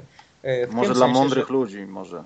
W tym sensie, że ta rewolucja oczywiście Moneyball przyszła, przyszła z baseballu, natomiast baseball no, nie jest sportem tak atletycznym, w sensie nie wymaga tak dużego atletyzmu. Jeśli chodzi o te sporty, gdzie jednak ten poziom atletyzmu jest wymagany dużo wyższy, e, czyli mówimy tu o tych najbardziej popularnych, e, właśnie koszykówka, koszykówka, piłka nożna, to jednak koszykówka ma tutaj tę przewagę nad, nad, piłką nożną, że mam wrażenie, że koszykówka jest trochę mądrzejsza. Być może dlatego, że, że, że, że jednak jest tutaj tylko pięciu graczy, że, e, że ten podział ról jest tutaj wyraźnie zaznaczony, że, e, że być może łatwiej to rozgryźć, e, a też przez fakt, że, że jednak mimo wszystko te, ta pozycja na, w uniwersyteckim świadku amerykańskim jest bardzo silna i nawet te, te, takie najbardziej wybitne uczelnie mają swoje zespoły koszykówki i tam się kibicuje tym zespołom koszykówki, wychodzi się na te mecze i, e, i, i całe te bandy, a prezydent nie chcę użyć tego słowa w znaczeniu pejoratywnym, e, całe te bandy nerdów chodzą na tę koszykówkę tam na tych uniwersytetach, na Harvardach, na Stanfordach, na Yale, na, e, na Micie i oglądają tę koszulkę i też chcą, chcą się do tego przyłożyć. Stąd się wzięło chyba ten taki progres, jeśli chodzi o to, że e, o, o rozwój koszykówki na, na, na poziomie takim e, e, bardziej zaawansowanym. Wejście zaawansowanych statystyk, wejście różnego rodzaju zaawansowanych sposobów na to, żeby, żeby koszykówka, żeby gracze byli lepsi i tak dalej. I myślę, że że być może to już nie jest faktyczny sport dla, dla, dla akademików, natomiast wciąż mnóstwo akademików jest zainteresowanych tym, żeby w tym sporcie być obecnych nie znam się na tym na piłce nożnej, żeby z całą pewnością to stwierdzić, ale wydaje mi się, że w piłce nożnej jednak e, piłka, piłka nożna jest troszkę bardziej konserwatywna, jeśli o to chodzi i tam jednak wciąż e, rządzą ci ludzie, którzy grali kiedyś piłkę i ludzie z zewnątrz nie mają takiego dostępu. Mimo wszystko mam takie wrażenie. E, pewnie któryś z słuchaczy mnie tutaj poprawi i zacznie przytaczać przykłady, natomiast no wydaje mi się, że tego moneyball tak zwanego w koszykówce jest więcej, jest więcej mądrych ludzi w koszykówce. A gdybyśmy teraz tak y, zrobili z Jamesa Naismitha albo z tego, co z niego zostało, nie wiem, czy chociaż prochy są gdzieś jakieś, obudzili go teraz, co by sobie pomyślał facet? Złapałby się za głowę. Nie miałby pojęcia. Ale złapałby się za głowę, co ja kurwa zrobiłem, czy ja? To jest, to jest jeszcze lepsze niż pomyślałem. To jest, to jest naprawdę. To jest ja dobre. myślę, że byłby pozytywnie zaskoczony, bo to przecież miał być sport, żeby przetrwać długie kanadyjskie zimy, a okazało się, że, że jest to moim zdaniem zjawisko. Nie tylko sport. Tak, Koszykówka jest czymś więcej niż sport już w dzisiejszych czasach. Ale też z drugiej strony, gdybyśmy nie, nie siedzieli w futbolu amerykańskim, w piłce nożnej, w siatkówce, w piłce ręcznej, też byśmy nie mówili tak, bo to mimo wszystko jest sport zespołowy. Ja nie chcę podbijać tutaj w ogóle miłości do koszykówki mojej, ale też się zastanawiam czasem tak, czy po prostu sport zespołowy, wszystko jedno, nawet jeśli to jest tak głupia piłka nożna, tak, głupia piłka nożna, tak, głupia piłka nożna, to podkreślmy to. Podkreślmy to. Czy to nie jest po prostu tak, że to jest tak czy siak pewnego rodzaju społeczność. Ludzie, którzy może nie do końca są wszędzie akceptowani, mają jakąś swoją taką niszę, do której się zawsze spotykają i grają. Wszystko jedno, czy robią to za 100 miliardów dolarów, czy po prostu w niedzielę po pracy. O tej społeczności zaraz powiem, a chcę powiedzieć jeszcze jedną rzecz. Moim zdaniem przewaga koszykówki jest taka, że jest to sport najbardziej precyzyjny w związku z tym, że gra się dłońmi, a dłońmi wykonuje się operacje, maluje obrazy, przykręca śrubki i to jest jedna z przewag, której w innych Ten sportach... Pan, nie... który grał u papieża na gitarze się obraża teraz. No niech się, no on jest wiesz, wyjątkiem, który potwierdza regułę. Inne sporty nie, nie są w stanie temu dorównać, tego przeskoczyć. No, y, Messi czy Ronaldo robią cuda piłką, ale, ale to jest nadal stopa, a, a dłonią, dłoń jesteś w stanie zrobić więcej, bardziej precyzyjnie, dlatego ta koszykówka jest... Jest to... Często mam taką rozmowę z ludźmi, że y, wchodzisz do jakiegokolwiek sportu i przez pewien okres czasu możesz udawać, że, że umiesz w to grać. Na przykład w piłkę nożną. Jeśli masz jakąkolwiek kondycję, umiesz biegać, możesz zamaskować w to, że nie umiesz grać w piłkę. A jeśli wejdziesz na boisko koszykówki, to, to, to po kilku kozłach, po jakimś, już nie mówię o rzucie, każdy pozna, że, że nie, nigdy nie grałeś w koszykówkę. To też prawda. To jest prawda. To jest na pewno prawda. Ja, ja myślę, że, że, że, taką istotną kwestią to jest to, że, że oczywiście siatkówka, piłka ręczna w Polsce sporty relatywnie popularne, to jednak nie jest ta masowość co koszykówka. Jedynym sportem bardziej masowym na świecie jest piłka nożna, jednak niż koszykówka. Możemy rozmawiać oczywiście o różnych stronach świata. No, są, są strony świata, gdzie krykiet czy rugby jest dużo bardziej popularny. No ale, no ale piłka ale... nożna, Przemek, przerwać i ta, z technicznego punktu widzenia jest najłatwiejsza do uprawiania, wiesz, bo ty nie musisz tutaj mieć obręczy, tablicy, masz piłkę, kawałek tak. plaży i dwie nogi i to wszystko. Tak, ale, ale, mieć. ale mówiąc o tej globalności, to, to koszykówka właściwie rywalizuje tylko i wyłącznie z piłką nożną. Przy czym, co ja zawsze zauważam z takim zaskoczeniem dużym, te gwiazdy koszykówki są jednak bardziej wyraziste niż gwiazdy piłki nożnej. Mamy w tej chwili prawdopodobnie dwóch najlepszych graczy piłki nożnej w historii w ogóle. Cristiano Ronaldo, Leo Messi. I mam wrażenie, że, że, że to są postacie gdzieś tam na poziomie osobowościowym, które są niedowartościowane, w tym sensie, że nie, nie jak to inaczej powiedzieć, nie, nie są pokazywane tak, jak powinny być pokazywane. Mam takie wrażenie, że są wykorzystywane tylko i wyłącznie w reklamach. Ja na przykład nie mam pojęcia, kim jest Leo Messi. W sensie nawet starałem się, poczytałem artykuły, oglądałem wywiady. Nie mam pojęcia, czy, czy Leo Messi ma chociaż trochę osobowości w sobie, czy nie ma. Cristiano Ronaldo prawdopodobnie ma trochę więcej, ale też jest to dla mnie bardzo zagadkowa postać cały czas. I zastanawiam się, czy, czy, czy to nie jest też tego kwestia tego typu, że, że, że piłka nożna jednak wyszła z Europy koszykówka wyszła ze Stanów Zjednoczonych, gdzie patrzyło się na sport od początku inaczej. Ameryka jako, taki, jako kraj, który, który jednak ma krótką historię, potrzebował swoich herosów. My mamy rycerzy z, ze średniowiecza, mamy królów, mamy, e, mamy, mamy całą, całą, całą paletę różnych barwnych postaci z, ze średniowiecza, z renesansu. Amerykanie poza swoimi początkami, poza swoimi pierwszymi e, gdzieś tam industrialistami z XIX wieku, potrzebowali, potrzebowali tych postaci, potrzebowali większej mitologii i sport zaczął odgrywać tę rolę. E, I to są te pierwsze postacie najpierw w baseballu, potem w boksie, które, które stanowiły takie, takie, takie postacie, takie ikony, tak, tak, ja to nazywam wręcz mitologią danego narodu. E, I dla Amerykanów te postacie sportowe to były, to były postacie mitologiczne, bohaterowie właściwie z mitów. I, I z czasem koszykówka wpadła na falę tego potencjału i z tego powodu też wydaje mi się, że a, koszykarze są lepiej wychowywani do tego, żeby pokazywać się w mediach, są bardziej medialni niż piłkarze na przykład. E, jest bardzo, myślę, że dużo bardziej restrykcyjna polityka, jeśli chodzi o kontakty z mediami w NBA. Ci koszykarze są zmuszani do tego, żeby promować grę swoimi postaciami. Z drugiej strony dziennikarstwo sportowe w Stanach Zjednoczonych jest na zupełnie innym poziomie niż dziennikarstwo sportowe w Europie. Jest nastawione na zupełnie inną rzecz. Zawsze, myślę, że zawsze było nas, teraz to się pewnie troszkę wymieszało w dobie internetu, natomiast wcześniej było w, starszych, w dawnych czasach było zupełnie na innym poziomie. Dziennikarstwo sportowe w Europie było bardziej z, dziennikarstwem sprawozdawczym, podczas gdy, gdy dziennikarstwo sportowe w Stanach było, było bardziej E, miało większy, było bardziej proaktywne, bym powiedział, w tym sensie, że tam faktycznie tworzono, to dziennikarze, najsłynniejsi dziennikarze sportowi, typu Red Smith na przykład, e, to oni tworzyli te mitologiczne postacie, to, to, to, to z kart ich artykułów w Sports Illustrated, z Playboya, z innych magazynów zna się, te, ludzie znają te postacie, te największe postacie sportu. Muhammad Ali został stworzony właściwie przez, przez dziennikarzy w pewnym sensie, E, bo to o nim najwięcej pisano w historii, potem, potem, potem jest Michael Jordan, o którym też tak dużo pisano w historii. I myślę, że z tego powodu z tego powodu koszykówka jest troszkę bardziej interesująca. Z, z, tego, że te źródła są w Stanach Zjednoczonych, gdzie to dziennikarstwo wyglądało inaczej, inaczej się pisało, inaczej się mówiło o, o tym sporcie niż o piłce nożnej i przez to wielokrotnie zawodnicy, koszykarze są bardziej medialni, są bardziej ludcy, są, są, to są postacie, które są, e, mogą być bliższe, więcej o nich wiemy, lepszy dostęp do nich mimo wszystko. To prawda i też e, no w zasadzie nie da się nic dodać do tego, co powiedziałeś Przemek i można dodać tylko tyle, że piłka nożna w Europie jest postrzegana jako element szeroko rozumianej rozrywki, a, a, a w Stanach ma ten, ten element, ten pierwiastek, o którym mówisz, takiej mitolo, mitologiczności, te, że, że te postacie, te LeBron James, y, żeby wymienić tylko jednego, on może być inspiracją w Twoim życiu, a jeśli nie wiemy o Messim zbyt wiele, to ciężko się inspirować nim poza tym, co robi na boisku. Tak, no, ba, I mało tego, y, wtrącę się do Was, jest, jeszcze jest jedna kwestia i to jest takie trochę Truman Show. My go możemy śledzić od zawsze. My patrzymy na to, jak on ma 17 lat. Znaczy ja nie mówię w Polsce, ale będąc w Stanach, na pewno. Demar DeRozan w Stanach, w Polsce mogłem go obserwować jako tako, ale nie byłem w stanie oglądać każdego jego meczu na żywo, na przykład. A to był jeden z zawodników, których oglądałem naprawdę od wczesnych czasów jego kariery i po prostu to obserwujesz. W piłce nożnej nie wiem, czy jesteś w stanie obserwować kogoś tak jak w NBA w Stanach na przykład. Myślę, od szkoły średniej, patrzeć na jego hmm. porażki, budować tą dodatkową, jak Przemek powiedziałeś, mitologię i świętość bądź antyświętość tego zawodnika, to kim jest, jak się zmienia. Ja już nie mówię o cielesności. No, dla mnie zawsze jakimś tam szablonowym takim porównaniem jest Vince Carter e, wcześniej i w NBA. No to są wiadomo dwie różne osoby, jeśli chodzi o fizykę. E, bardziej umięśniony, to też no, trochę zeszło czasu, żeby Vince Carter się zmienił w takiego już zawodnika stuprocentowego NBA. E, ale my możemy to oglądać i myślę, że to jest mhm. podstawowa przewaga tego wszystkiego, że moż, można wyrobić swoje własne zdanie, nie będąc dziennikarzem, grając tylko w kosza, na podstawie tego, co się widzi.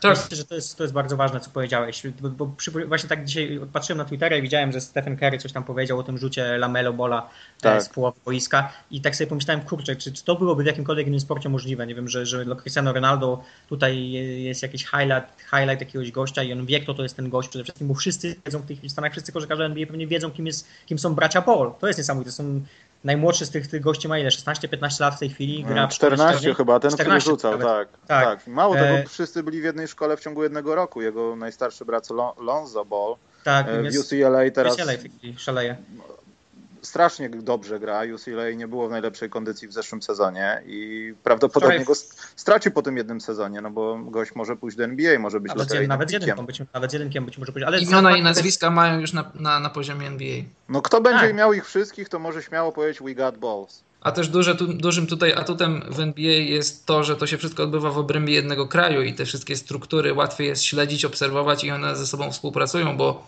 przecież nawet już od rozgrywek y, szkół średnich, już nie mówię o szkołach podstawowych, wszystko jest zorganizowane, stelewizowane. Jest takie mm. słowo, stelewizowane? W Stanach jest na pewno. Jeśli, jeśli nie ma, to już To już teraz jest. I, i, I, po prostu jest łatwiej, łatwiej tym wszystkim żyć, a, a w związku z tym, że to się odbywa w Stanach, to to się rozlewa na cały świat. No, dokładnie. I, i myślę, że to jest ta przewaga koszykówki. To, to faktycznie to, to, to, to jest kilka rzeczy, kilka rzeczy się na to składa, ale, ale że faktycznie też możemy ich obserwować od, od początku właściwie. Dobrze, zamykamy na razie temat koszykówki, bo na koniec będzie trochę o niej. Ale teraz będzie najlepszy segment dla wszystkich. Co się waszym zdaniem w tym roku stało takiego, o czym będziemy mówili, jak będziemy mieli 70 lat, a widzisz, Karol, gdyby ten i ten nie został prezydentem, albo tam i tam nie byłoby wojny, albo ten i ten by nie umarł, byłoby inaczej.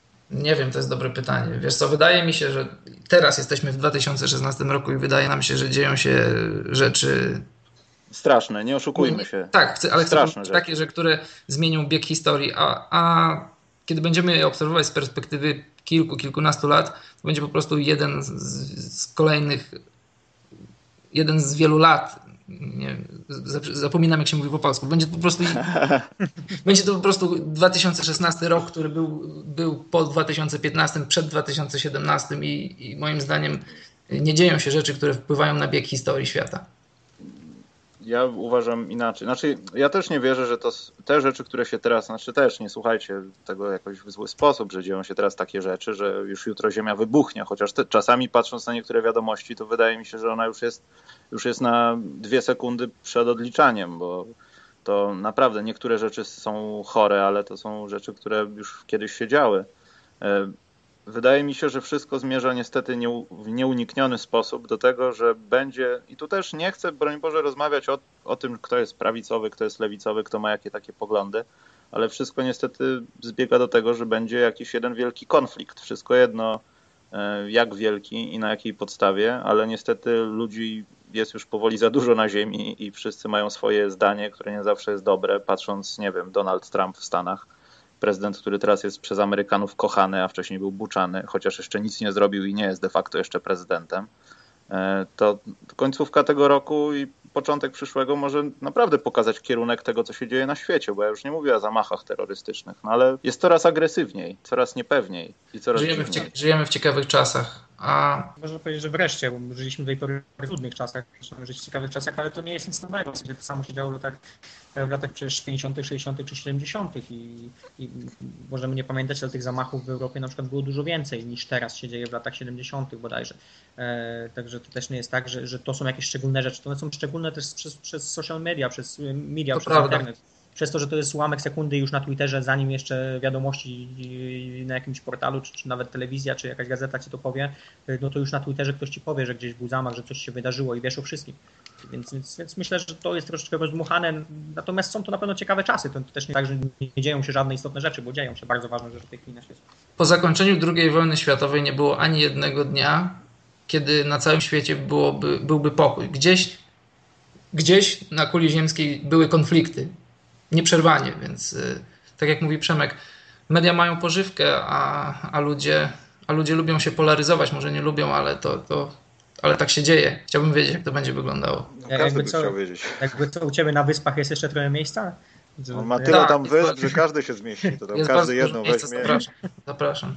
E, słuchajcie, dobrze, więc waszym zdaniem świat nie wybuchnie, natomiast czy będziemy świadkiem y, jakichś ciekawych wydarzeń y, w wykonaniu Donalda Trumpa? Ciekawych, naprawdę ciekawych, w sensie przejedzie całą Europę samochodem, żeby dojechać, nie wiem, do Putina, pogadać, wrócić, potem wyrzucać pieniądze przez okno, czy będzie raczej takim normalnym gościem? Nie, dlaczego pytam? Dlatego pytam, że jeśli interesujemy się amerykańską koszykówką, to to, co się działo w połowie tego roku w Stanach, czyli mówię te wszystkie, pewnie dalej się to dzieje, tylko już jakoś tam e, opinia publiczna o tym zapomniała. O tej całej fali tych ataków policjantów i na policjantów, o tych wszystkich rzeczach, które sprowadzają się do jednego, że w końcu ktoś może powiedzieć dość i w końcu jakieś czarne pantery mogą powiedzieć, że no słuchajcie, no skończył się czas rozmawiania, teraz będziemy załatwali sprawy w inny sposób. I to też może mieć swoją grę końcową w koszykówce, bo może być coraz więcej zawodników, którzy nie zgadzają się z niektórymi rzeczami. Mogą się okazywać jakieś takie rzeczy głupie, jak na przykład, nie wiem, nie śpimy w takich i takich hotelach, to potem ci i ci nie dostają pieniędzy i tak dalej. Zastanawia mnie to, czy to będzie miało jakikolwiek wpływ na to, co się dzieje w sporcie, przynajmniej amerykańskim. Wybór Trumpa masz na myśli? Mhm. E, moim zdaniem nie będzie aż tak źle, jak ludziom może się wydawać, dlatego że, że system polityczny w Stanach Zjednoczonych uniemożliwia Trumpowi podejmowanie suwerennych decyzji. On ma cały sztab ludzi, doradców, którzy, którzy mu, mu pomagają w podejmowaniu decyzji, ale też on jest, nie jest niezależny w tym, w tym, co robi. A problemy rasowe. Rasizm w Stanach Zjednoczonych to nie jest historia, to, to jest rzecz, która się dzieje. Stany są podzielone bardziej niż, niż, niż ludziom się wydaje, tym, którzy nie siedzą w tym temacie. I, no, patrz, mecz gwiazd w Charlotte. To jest właśnie, najbardziej wydatny podział. I nie pomógł w tym Obama i nie przeszkodzi. Nie pomógł w tym Obama, a, a Trump w tym nie, nie, nie pogorszy tego wszystkiego, tak mi się wydaje. To jest dość szokujące, jak bardzo, w sensie myślę, że, że, że dla ludzi, którzy nie byli w Stanach, to jest bardzo szokujące, jak, jak bardzo Stany Zjednoczone są podzielone na tle rasowym. Dla mnie to był absolutny szok. E, wizyta w Stanach Zjednoczonych pod tym względem. W sensie nie, nie spodziewałem się tego, myślałem, że wiem cokolwiek na ten temat, okazało się, że nie wiem nic. Także myślę, że też y, trudno jest nam komentować z naszej perspektywy polskiej i jakby te relacje tam, jeśli o to chodzi, bo jest to, jest to temat cały czas, jest to temat, tak. który jest bardzo, bardzo delikatny. Jednocześnie e, mając w Polsce no nie do końca normalne zjawiska po jednej czy po drugiej stronie rządzącej, opozycyjnej, to, co się dzieje u nas w kraju, też nie jest normalne. Także nam patrzeć na cudzą nienormalność jest jeszcze inaczej, bo te nienormalności nie chodzą ze sobą za rękę, na pewno nie. To prawda. A też zauważyłem, że dyskutując w Polsce o polityce, takim wybijającym argumentem jest to, że jeśli masz inne zdanie niż ktoś, to ten ktoś może zarzucić ci to, że ty po prostu jesteś zmanipulowany, nie doczytałeś, tak, tak. wszystko wiesz. Nie, Karol, nie łatwiej dlatego, że twoje zdanie że jesteś, inne, że jesteś gówno wart, po prostu. Właśnie, nie, twoje, nie dlatego twoje zdanie jest inne, ponieważ jest inne, tylko dlatego, że ty nie do końca orientujesz się w tym wszystkim, jesteś w jakimś matriksie zmanipulowanym. To, kasuje wszystkie dyskusje. To, to, to jest argument, który uwielbiam, który, który bardzo często słyszymy, który już usłyszeliśmy z Michałem nieraz też. E, nie wypowiadajcie się na tematy, na których się nie znacie. Teraz, no. teraz pytanie brzmi, czy, czy temat opinii, tego co sądzisz o świecie, to jest temat, na którym możesz się nie znać? W sensie, no, pytasz kogoś o opinię, no to, to, to ktoś ci znaczy, może wiesz, powiedzieć. W takich sytuacjach, kiedy, no ja wiem, no, wkroczę na tą wojenną ścieżkę polityczną, ale podam przykład. E, Lech Wałęsa jest agentem albo nie agentem. To jest też taka dyskusja przede wszystkim dla ludzi, którzy żyli w tamtych czasach, a nie dla ludzi, którzy mają teraz 15 albo 20 lat i naczytali się gazet albo tego, co wypluł IPN i zabierają głos w mediach też między innymi, bo są młodej fali redaktorzy, którzy nie przeżyli nawet, nie mieli nawet 6 lat w 86 roku albo nie urodzili się w ogóle w latach 80., a zabierają głos na niektóre sprawy. Ale to dalej jest tak, że ci ludzie, którzy tam wtedy żyli, mogą się wypowiadać na ten temat, politycy, dziennikarze, ale porównanie do koszykówki. Nie możesz mówić o niektórych meczach czytając tylko boxscore. No tak, nie możesz powiedzieć jak grał... Jeśli go nawet nie widziałeś. Oscar no to... Robertson, nie widząc go, nie, czy jego triple-double jest, będzie tyle samo ważne, co triple-double tak, tak, albo czy Michael Jordan jest lepszy od LeBrona James. Może tak, może nie, ale pospierajmy się, a nie, że a, to LeBron, to jak Michael Jordan, to jesteś głównowartki. To jest taka dyskusja niestety trochę w Polsce i to też e, pokazuje, jak bardzo w ogóle w Europie wszystko jest popieprzone pod tym kątem, bo nie tylko Polska jest popieprzona, jeśli chodzi o różne zachowania. I nie mówię o scenę polityczną, ale mówię o zachowania ludzi. Ludzi, którzy bardzo łatwo się dają dzielić i łatwo bardzo dają się zmanipulować temu, co po prostu zobaczą albo przeczytają, nie dotykawszy tego w ogóle. Na, na poziomie naszego kraju największy problemem jest to, że że mamy upośledzony system polityczny, że moim zdaniem demokracja jest, jest to, to, to jest pojęcie iluzoryczne, bo nie głosujemy na poszczególnych polityków, tylko głosujemy na listy, więc teoretycznie jeśli nie podoba Ci się jakiś polityk, który się skompromitował przez lata w Sejmie, a jeśli on dostanie jedynkę w swoim okręgu, to czy chcesz, czy nie chcesz, on, do, on w Sejmie się znajdzie w związku z takim, a nie innym systemem politycznym. Czyli uważasz, że powinno się wprowadzić w Sejmie salary cap, żeby jak najlep najlepsze talenty zostawały po prostu, no bo byłoby wyliczone wszystko, ile możesz zostawić. Nie, ja jestem za jednomandatowymi okręgami wyborczymi i nie jest to pokłosie tego, co mówi Kukis, jest to pokłosie tego, że uczyłem się tego na studiach i, i mówię to od 15 lat. Wiesz, Karol, że teraz twój blog może być najmniej czytalnym blogiem w Polsce? Myślisz? Może, może wręcz przeciwnie. może wręcz przeciwnie. Przemek już na pewno nie sprzeda książki po tym, co zaraz powie. Ale masz rację, bo zauważyłem, że jeżeli próbujesz nawet delikatnie, w żartach coś, coś nawiązać do polityki, to... to... Nie, jako, jako bloger koszykarski, jako bloger, bloger koszykarski nie masz prawa się odzywać na temat polityki. Właśnie, ja już, właśnie. Już się tego nauczyłem, że nie masz prawa właściwie odzywać się na żaden inny temat niż koszykówka i nikogo nie obchodzi, co robiłeś w życiu, czego się uczyłeś i, i czy masz takie czy inne doświadczenia i o czym możesz opowiedzieć. Nie? Więc... Ale ja studiowałem politologię, a nie studiowałem koszykówki. No widzisz.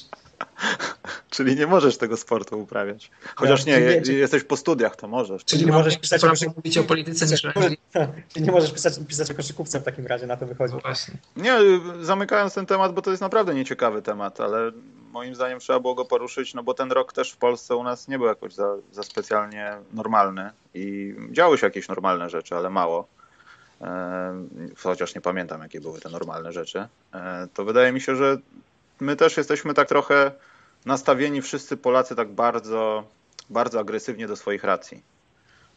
Nie wiem, głupi przykład piłki nożnej. Polska reprezentacja jest zawsze super, nawet jak przegrywała 600 do 0, to jest zawsze super, wszyscy przychodzą na ostatni mecz i tutaj też jest tak samo.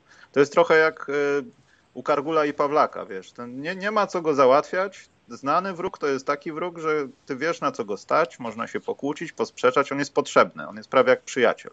I w Polsce też tak to wygląda, że nawet jakimiś głupimi decyzjami pokazuje się komuś środkowy palec, zamiast po prostu porozmawiać. Ja wiem, że czasami emocje biorą górę, ale my nie potrafimy chyba rozmawiać w normalny sposób, bo summa summarum kończy się to na rękoczynach albo innych rzeczach. I to jest takie trochę smutne. No, Wszyscy powinni nie. grać w kosza i wtedy byłoby ok.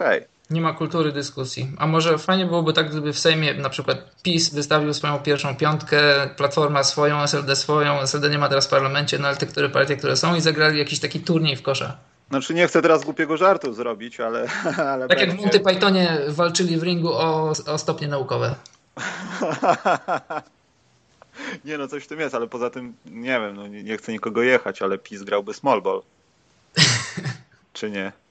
Poza tym na Filipinach jest taka zasada, że zawodnicy e, przyjezdni nie mogą przekraczać tam 6 stóp 7 cali chyba. Także oni ale... mogliby tam występować. A Macierewicz nie jest wysoki? No ale on może mieć z kolanami już kłopot. Tyle lat na piwocie. No, ale on byłby jak KG, to by był yy, generał obrony. Giertych byłby dobry jakby Giertych teraz był w Sejmie, to byłby moim centrem, pierwszym składem All-Star. Ja bym go wybrał, on by tam został Poza tym Przemek nie bierze udziału w rozmowie, bo jego rodzinne miasto jest poza wszystkim i jest moim wzorem do naśladowania. Przemek, poopowiadaj trochę o Nowej Soli. E, co chcesz, mamy największego krasnala ogrodowego na świecie na przykład. Po pierwsze, macie jakiś asfalt taki super, jakiś ekologiczny, super cichy, który jest robiony z mu, muszych kup i jest w ogóle super, jest super tani, nikt go nie używa. O, o, o, tym jeszcze nie słyszałem. O tym jeszcze nie słyszałem. Nie, jest taki, są jakieś nowe nawierzchnie w Nowej Soli, ale to już powiedziano parę lat temu, że wprowadzone są eksperymentalnie w Polsce i są super ciche, super ekologiczne, super tanie i w ogóle prezydent jest super. Nie wiem, Nowa Sól to jest taka wyspa normalności w Polsce może. Y, wiesz co, Nowa Sól to jest miasto, które osiągnęło sukces, ale też dlatego, że a, mamy bardzo sprawnego prezydenta, y, który obecnej władzy chyba bardzo nie pasuje. Już się zaczęły jakieś podchody na niego, bo, bo bardzo głośno na swoim facebookowym profilu mówi o tym, co mu się nie podoba. Za dobry e. Y, natomiast jest bardzo, bardzo sprawny i tego nikt mu nie może odmówić. Też dlatego, że, że myśmy startowali z takiego pułapu, że był czas, kiedy mieliśmy największe bezrobocie w całej Polsce.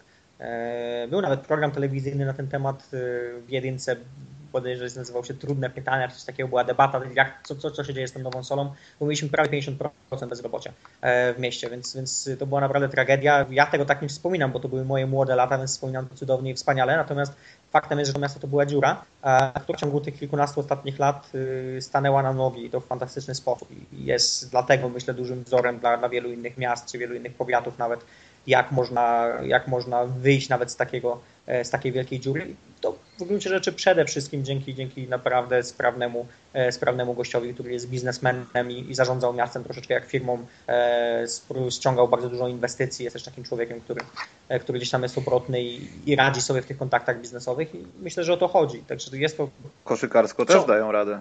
Jest to wciąż tak, no mamy, mamy, mamy zaplecze E, niestety za moich czasów nie było tak dobrze, za moich czasów były tylko uczniowskie kluby sportowe, natomiast w tej chwili mamy zaplecze, e, zaplecze z Telmetu, e, co jest, co jest fajne, bo, bo, bo, bo w latach 90. Nowa Sól była troszeczkę koszykarskim miastem, w tym sensie, że boiska od koszykówki były pełne ludzi jednak i, i do dzisiaj to jest fascynujące, kiedy przyjeżdżam tam odwiedzić rodziców, czasami latem idę na boisko porzucać, to okazuje się, że dokładnie te same osoby, które grały tam 20 lat temu nadal No to w całej Polsce chyba tak jest. To jest tak, to, jest, to, jest, to jest fantastyczne, bo, bo, bo, bo, nie pamiętam nawet niektórych imion, a poznaję po twarzach już takich panów po 40 na przykład, którzy, jak ja byłem szczylem 12 lat, to oni mieli po 20 i gdzieś tam grali na boisku. O właśnie Michał, y, zapomniałem o tym powiedzieć, ten aspekt, o którym powiedziałeś. To jest właśnie to, ta nasza rozmowa. To jest ten aspekt. Y, koszykówka nas łączy. Nie znaliśmy się wcześniej, poznaliśmy się gdzieś tam w sieci w związku z koszykówką i, i spotkaliśmy się na żywo. No z Przemkiem jeszcze się nie spotkałem, ale z Michałem się spotkałem i wydawało się, że się znamy, że nie, nie ma nie ma takich momentów, gdzie jest taka niezręczna cisza. O czymś cały czas rozmawiamy, wspólne tematy, już tylko koszykówka. Tak, o dziwnych ludziach pod pasem kultury, którzy tak. w zasadzie zostali zidentyfikowani trafnie. E, ale Karol, co w twoim świetniku jak jest? Jest tak samo jak u Przemka. Jak zawsze przyjeżdżam, to, to są... Druga wyspa w Polsce taka pieniędzmi kwitnąca również politycznie, czy średnio? Zakłady lotnicze macie, nie? W świetniku. Ale macie czy mieli? Co? Zakłady, zakłady lotnicze? Tak, tak, są cały czas, tylko że one, one zostały sprzedane Włochom. To, to nie wiem, czy możemy się z tego cieszyć. No możemy się cieszyć, że to działa jeszcze, a, a zostało sprzedane chyba nie tak bardzo. Ale w silniku, jak za każdym razem jak przyjeżdżam, to jest coś nowego, coś się dzieje. No Może... ja w Warszawie też za każdym razem, jak gdzieś tam wpadnę, to też się coś dzieje. Demonstracja jest albo korek. To też ważne rzeczy są takie. warszawskie. Dobra, słuchajcie, będziemy kończyć, panowie, dlatego zbierzemy. Już? Tak, wasze życzenia na 2017 rok, takie, takie o takie nie tylko koszykarskie. Bo, no, powinny być, ale takie o, że co byście chcieli, żeby było, co będzie waszym zdaniem na 100%. W FIBowskiej, w NBA-owskiej, w każdej koszykówce waszym zdaniem i wszędzie. W aspekcie niekoszykarskim to życzę ludziom, żeby potrafili ze sobą rozmawiać, bo kiedyś zrobiliśmy takie doświadczenie z moimi kolegami, nawet sędziami na pewnym turnieju i zrobiliśmy taką grę. Akurat tak się złożyło, że ktoś tam miał poglądy zgodne z pisem, z platformą, z kimś tam jeszcze i rzuciliśmy temat. I ja powiedziałem, Gwarantuję wam, że w ciągu 10 minut się dogadamy na jakiś tam temat. I zrobiliśmy to, dogadaliśmy się. I, i pokazałem przez ten przykład, że, że można się porozumieć, jeśli się chce. Jeśli, jeśli polityk czuje, że czuje swoją powinność, że robi coś z pieniędzy podatników, że jest w określonym celu w polityce, to jest się w stanie osiągnąć. Tylko, że czuję to w ten sposób taki, że, ni że nikomu się nie jest na rękę dogadywanie się, że impas jest czymś, co oni, to, co oni lubią. A w aspekcie sportowym życzę tego, żeby twoja ulubiona drużyna zdobyła mistrzostwo, żeby były ciekawe playoffy, żeby sędziowie nie byli tematem, o którym rozmawiamy, żeby sportowcy unikali kontuzji i tyle. Przemek? takich pewnych rzeczy, to ja sobie życzę jednak powtórki finałów Golden State Cleveland, bo to jest koszykówka na zupełnie innym poziomie i jak to wjechało, wjechało kto święta, to Kto wygra? Takie, nie, nieważne, w sensie nie, nie, nie ma znaczenia. Znaczy ja kibicuję po cichu Cleveland, być może do tego, że, że to jednak jest fascynujące. Zespół LeBrona Jamesa jest underdogiem w tym starciu, ale, ale tak, no Cleveland Cavaliers są underdogiem w tym starciu, e, więc, więc kibicuję underdogom. E, no chyba, że nagle nie wiem, w Golden State ktoś złapie z ważnych zawodników kontuzję, to pewnie zacznę kibicować Golden State, natomiast no, chciałbym tych finałów, mam nadzieję, że żaden z tych, że, że oba te zespoły dotrwają w pełnych składach do finałów i, e, i to było super, bo to jest kosmiczna koszykówka, rywalizacja, jakiej dawno nie było w tej lidze na takim poziomie, więc, e, więc, więc na pewno chcę to zobaczyć. E, co poza tym, może takie małe życzenia dla polskiej koszykówki. E, ja wiem, że się dużo rzeczy dzieje fajnych. E, ja nie, nie obserwuję gdzieś tam sobie z boczku też, też przez to, że mam dużo znajomych, którzy gdzieś tam w tym siedzą i, e, i czy na Twitterze, i czy też, czy też samemu czasem nawet się zdarzy coś obejrzeć. Nie przyznaję się do tego głośno, ale tak. Ale myślę, że, że, że, problemem cały czas w polskiej koszkówce jest to, że, że nadal nie ma pomysłu na to, jak ją pokazywać, jak ją sprzedać i, i chciałbym sobie życzyć, żeby żeby ktoś na tym, na tym szczeblu takim wysokim polskiej koszykówce w, w, końcu wyszedł z tego takiego e, mentalnego więzienia, mam wrażenie, e, takiego bycia na nie e, i poszedł troszeczkę bardziej amerykańską drogą. Bo to jest fantastyczny sport, który naprawdę można świetnie sprzedać, myślę, że wszędzie. E, pomimo tego, że nie ma go w dużych miastach w tej chwili w Polsce, największe miasta nie mają klubów na wysokim poziomie, e, są to jednak e, mniejsze miasta typu Zielona Góra na przykład, to, to myślę, że wciąż można nawet bez jakichś wielkich sukcesów prezentacji uczynić z tego coś modnego. E, z jakiegoś powodu ta koszykówka w latach 90. jednak przyciągnęła do siebie tak duże grono ludzi. Ja wiem, że to jest duża społeczność. E, nigdy nie zapomnę sytuacji, kiedy, kiedy, kiedy był turniej przedolimpijskim w 2012 roku bodajże w Barcelonie i e, wybraliśmy się pod hotel, gdzie, gdzie spali amerykańscy zawodnicy i okazało się, że pod hotelem była wielka grupa ludzi, w której byli prawie sami Polacy. E, nie było właściwie Hiszpanów, byli sami Polacy i to dużo mi też mówi gdzieś tam o determinacji, czy o tym, jacy są ci fani NBA w Polsce, e, ci fani koszykówcy w Polsce i myślę, że jest potencjał na to, żeby zarazić kolejne pokolenie e, tym samym, tylko trzeba, trzeba zacząć to pokazywać. Też życzyłbym sobie, nie będę ukrywał, żeby zacząć lepiej pokazywać, lepiej sprzedawać NBA w Polsce na poziomie, na poziomie tych dużych mediów, bo myślę, że te duże media robią dużo złej roboty cały czas. I nie mówię tutaj tylko o komentarzu pana Michałowicza, ale, ale też, też o tym, w jaki sposób te największe media piszą, czy o Marcinie Gortacie, czy, czy, czy w ogóle NBA, e, jak dużo jest właśnie tego dziennikarstwa europejskiego w tym wszystkim sprawozdawczego, jak mało jest w tym wszystkim e, sprzedawania historii, sprzedawania tych herosów, sprzedawania tego, co w tej NBA jest najpiękniejsze, czyli tych osobowości, bo, bo jednak mamy w tej chwili w lidze dużo tych takich fantastycznych osobowości. I wydaje mi się, że idąc w tym kierunku można by zarazić kolejne pokolenie tym sportem i, i, i być może oczywiście nie od razu, ale, ale, ale z czasem to też przyniosłoby nowe pokolenie jeszcze lepszych graczy i, i ta polska koszulka gdzieś tam myślę, że trafiłaby na należne, na należne sobie miejsca. Wydaje mi się, że, że, że, jednak tak jak na świecie to powinien być drugi sport piłce nożnej. Nie docenia się tego potencjału. Myślę, że nie. Myślę, że cały czas y, też z powodu braku, wiadomo, sukcesu reprezentacji, bo jednak piłka ręczna na przykład, która, e, w którą nikt nie gra rekreacyjnie. Mówmy się, grałem w piłkę ręczną przez kilka lat i i teraz też być może chętnie bym pograł, tylko nie ma z kim. To nie jest taki sport, który, który, który tak łatwo rozpromować, a mimo tego udało się go przez sukces reprezentacji, więc, więc pewnie gdyby reprezentacja polskiej koszykówce osiągnęła taki sukces, to coś by się wydarzyło, ale ta droga jest raczej przed nami zamknięta, w tym sensie, że jednak mamy te potęgi koszykarskie w Europie i, i trudno byłoby nam się przez nie przebić, żeby osiągnąć taki sukces, nie wiem, typu półfinał Mistrzostw Europy na przykład. E, chociaż no w 97 w Hiszpanii wystarczyło siódme miejsce i, i, też był hype jednak, e, kiedy tam ta reprezentacja z Adamem Wójcikiem, z Maciejem Zielińskim grała. E, więc, więc może, może taki właśnie ćwierćfinał, gdzieś, gdzieś, gdzieś taka dobra gra coś by przyniosła. Ale, ale bardziej bym sobie życzył właśnie tego sprzedawania lepiej koszykówki, tego, tego że, że w Polsce jednak na poziomie tych dużych mediów coś, co, co myślę, że my na blogach, na, na, na tych naszych małych, mimo wszystko jeśli chodzi o dostęp do ludzi, portalach robimy, a czego nie robią ci dziennikarze z, z, z tych dużych mediów. E, właśnie sprzedawania, sprzedawania tego, co w koszykówce jest najważniejsze, a więc nie tego, jaki był wynik i, i kto ile zdobył punktów, ale, ale tej historii, która tam się dzieje. Mm, historii przede wszystkim tego w ogóle sportu, bo też mam czasami wrażenie takie, że znaczy, to też nie jest tak, że będę kogoś teraz oceniał i wiem, że realia są takie, że ma się po prostu kliknąć, sprzedać i zapomnieć i piszesz następny bo mało jest idealistów w tym interesie, którzy będą to robili po prostu pro publico bono. Natomiast wydaje mi się, że bardziej trzeba byłoby w tych największych mediach. y, Nie wiem, wiem, że na pewno jest trudno prezentować ligę, która jest za oceanem, tam gdzie jest tylko jeden Polak i jak na razie nie ma super wielkich nadziei, że będzie następny dosyć szybko. To powinno się konsekwentnie przedstawiać to ludziom i zacząć to od publicznej telewizji. Wszystko jedno, czy to byłby Polsat, czy to byłaby TVP, czy ktokolwiek inny. Ważne, żeby to było puszczane tam, gdzie można odebrać. y, W sensie przez głupią antenę DVB można obejrzeć sobie jeden mecz w tygodniu. Ok, chcesz trzy, to zapłać. Nie ma problemu, ale żeby była dostępność, żeby ci ludzie spróbowali, nawet ci, którzy zaczynają teraz tym sportem w jakiś sposób, żeby mogli pooglądać to po prostu, a nie starać się, żeby gdzieś to do, obejrzeć i, i dotrzeć do tej wiedzy, no bo ta wiedza powinna na nich czekać, wszystko jedno, czy jej chcą, czy nie chcą i wtedy może by coś się zmieniło.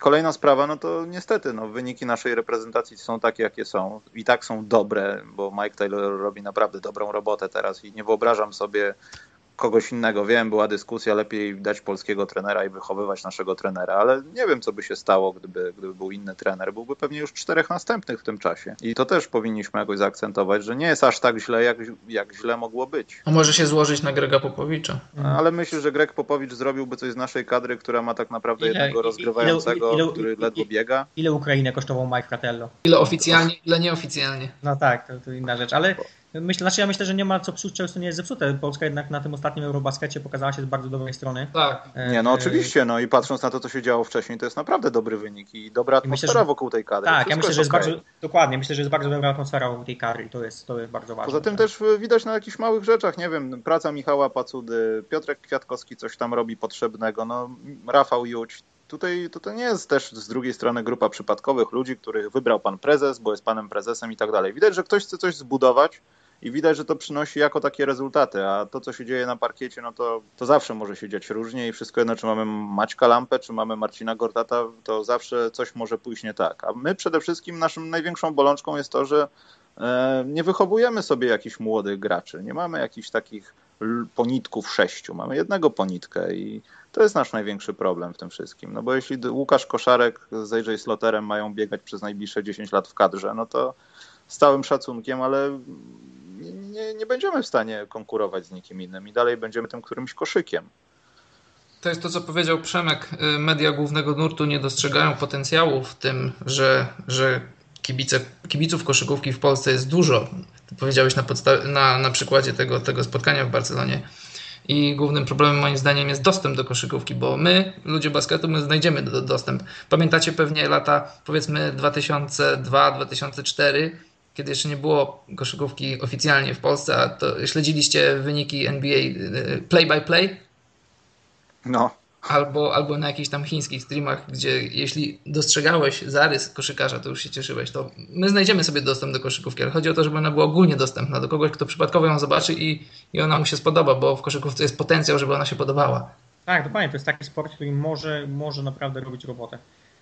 Y, Jeśli, jeśli chodzi o widowiskowość, jeśli chodzi o to, jak są tam niesamowici atleci jednak.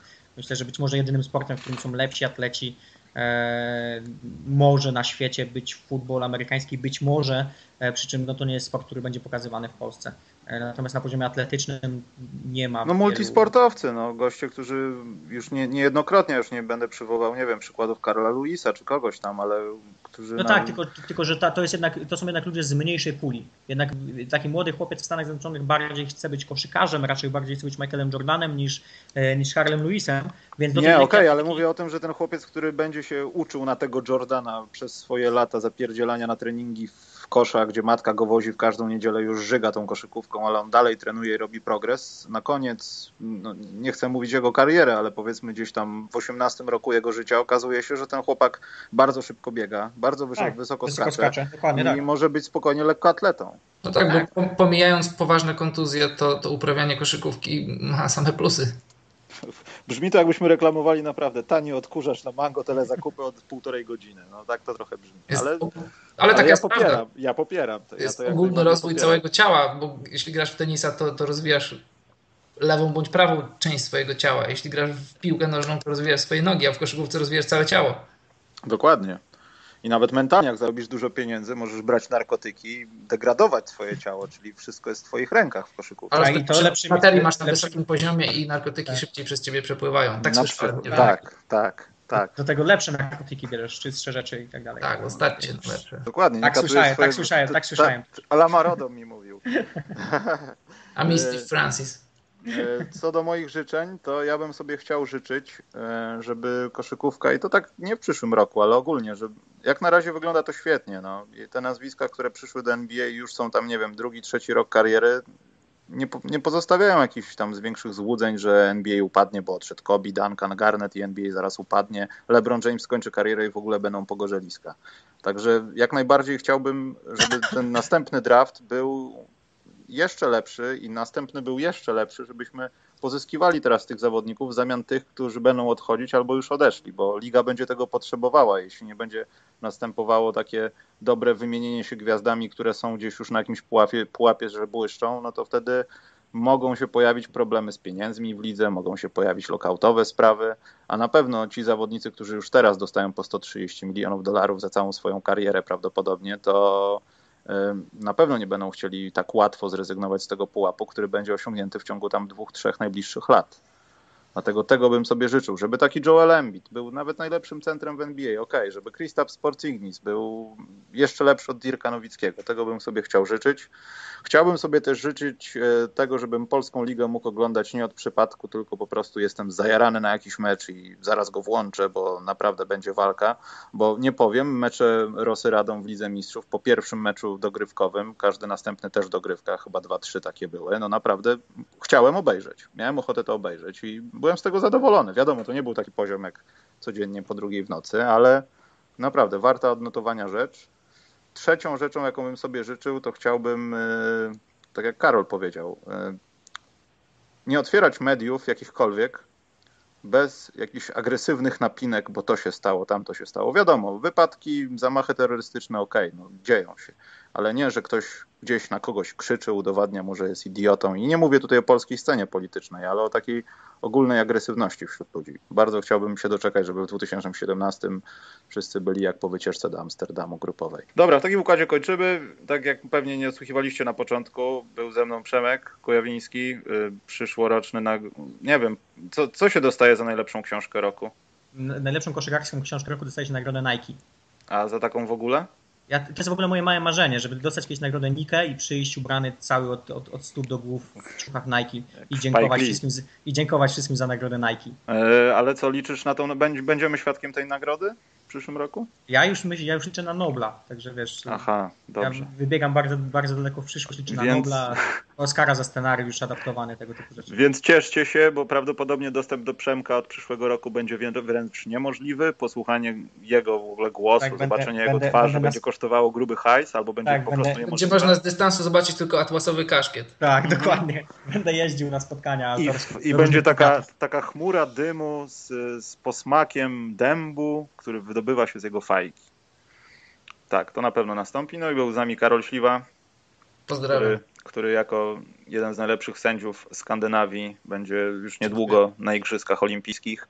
Nie przesadzajmy, Michał. Na pewno będziesz Karol i wtedy mnie zaprosisz w końcu. Ktoś mnie zaprosi na Igrzyska Olimpijskie.